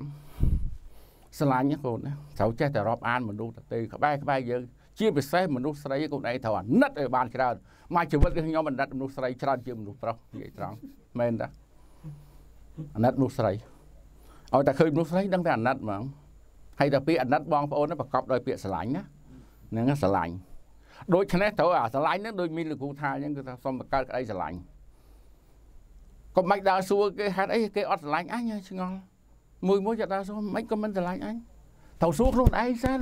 ថាយើងមានអីឲ្យគេស្រឡាញ់នៅមិនចឹងគេស្រឡាញ់អីណាពិបាកមែនសម្រូវគេទៅមិនដឹងថាគេស្រឡាញ់មនុស្សសង្ហាស្អាតលយសិតសក់លយយើងដាក់នឹងដែរហ្មងមិនចឹងអាវដូរឲ្យរាល់ថ្ងៃយើងមើលឬគេមិនស្រឡាញ់ មកគេមិនស្រឡាញ់យើងយើងស្រឡាញ់គេទៅវាចប់ហើយរឿងអីពិបាកមិនចឹងណានិយាយលេងណាបងប្អូនអានឹងសុបទោសខ្ញុំទម្លាប់ខ្ញុំនិយាយលេងអញ្ចឹងបាទខ្ញុំទោសបើយកឲ្យនិយាយសុភាពព្រាបផ្សាអីចេះខ្ញុំពិបាកខ្ញុំនិយាយចេះទេណាហ្នឹងណាយើងនិយាយមិនថាម៉េចបាច់ខ្វល់ថាអូនស្រឡាញ់បងមិនស្រឡាញ់បងខ្វល់នេះមិនខ្វល់ថាអូនស្រឡាញ់បងសំខាន់ដឹងចិត្តថាបងស្រឡាញ់អូនឯងទៅវាចប់ហើយតែប៉ុណ្្នឹងបាទ អូខេថ្ងៃនេះខ្ញុំសូមធ្វើការចែករំលែកប៉ុណ្្នឹងហើយក៏អរគុណណាស់ចំពោះពេលវេលាកន្លងទៅនេះអរគុណទាំងអ្នករៀបចំកម្មវិធីនេះអរគុណទាំងអ្នកកំពុងតែទស្សនាហើយអរគុណដល់អាជ្ញាធរដែនដីទាំងអស់និយាយរួមទៅដែលមានពាក់ព័ន្ធឲ្យមានកម្មវិធីនេះរៀបចំឡើងគឺខ្ញុំល្អមែនទែនហើយក៏ហៅខ្ញុំមកចូលរួម ក៏ខ្ញុំសប្បាយចិត្តនេះបើថ្ងៃក្រោយហៅទៀតមកទៀតហើយបើអត់ហៅទៀតខ្ញុំអត់មិនមិនមកទេបាទសុំទោសបាទសុំបើមិនហៅគឺមិនមកទេថ្ងៃនេះគឺសរុបឡើងវិញដោយសារតែពេលវេលាយើងមានតែប៉ុណ្្នឹងហើយអ្វីដែលសង្ខេបយើងនឹងមានកត់ត្រាទុកនៅក្នុងជាគេហទំព័រហើយយើងអាចចងក្រងជាឯកសារសម្រាប់ បោះពុំជាសភៅយើងបានរៀបចំគិតគូរគ្នាហើយថាតើអ្វីដែលយើងធ្វើនេះហើយទៅមុខយើងត្រូវធ្វើអីទៀតហើយដើម្បីសង្គមនេះដូចខ្ញុំបាននិយាយដើមអញ្ចឹងថាកុំកុំចេះថាសង្គមនេះចេះគុំនេះចុះតែយើងសួរថាខ្លួនយើងធ្វើអីល្អឲ្យសង្គមនៅឲ្យនៅហើយកុំដៀលថាសង្គមមិនល្អសង្គមណាក៏ល្អដែរ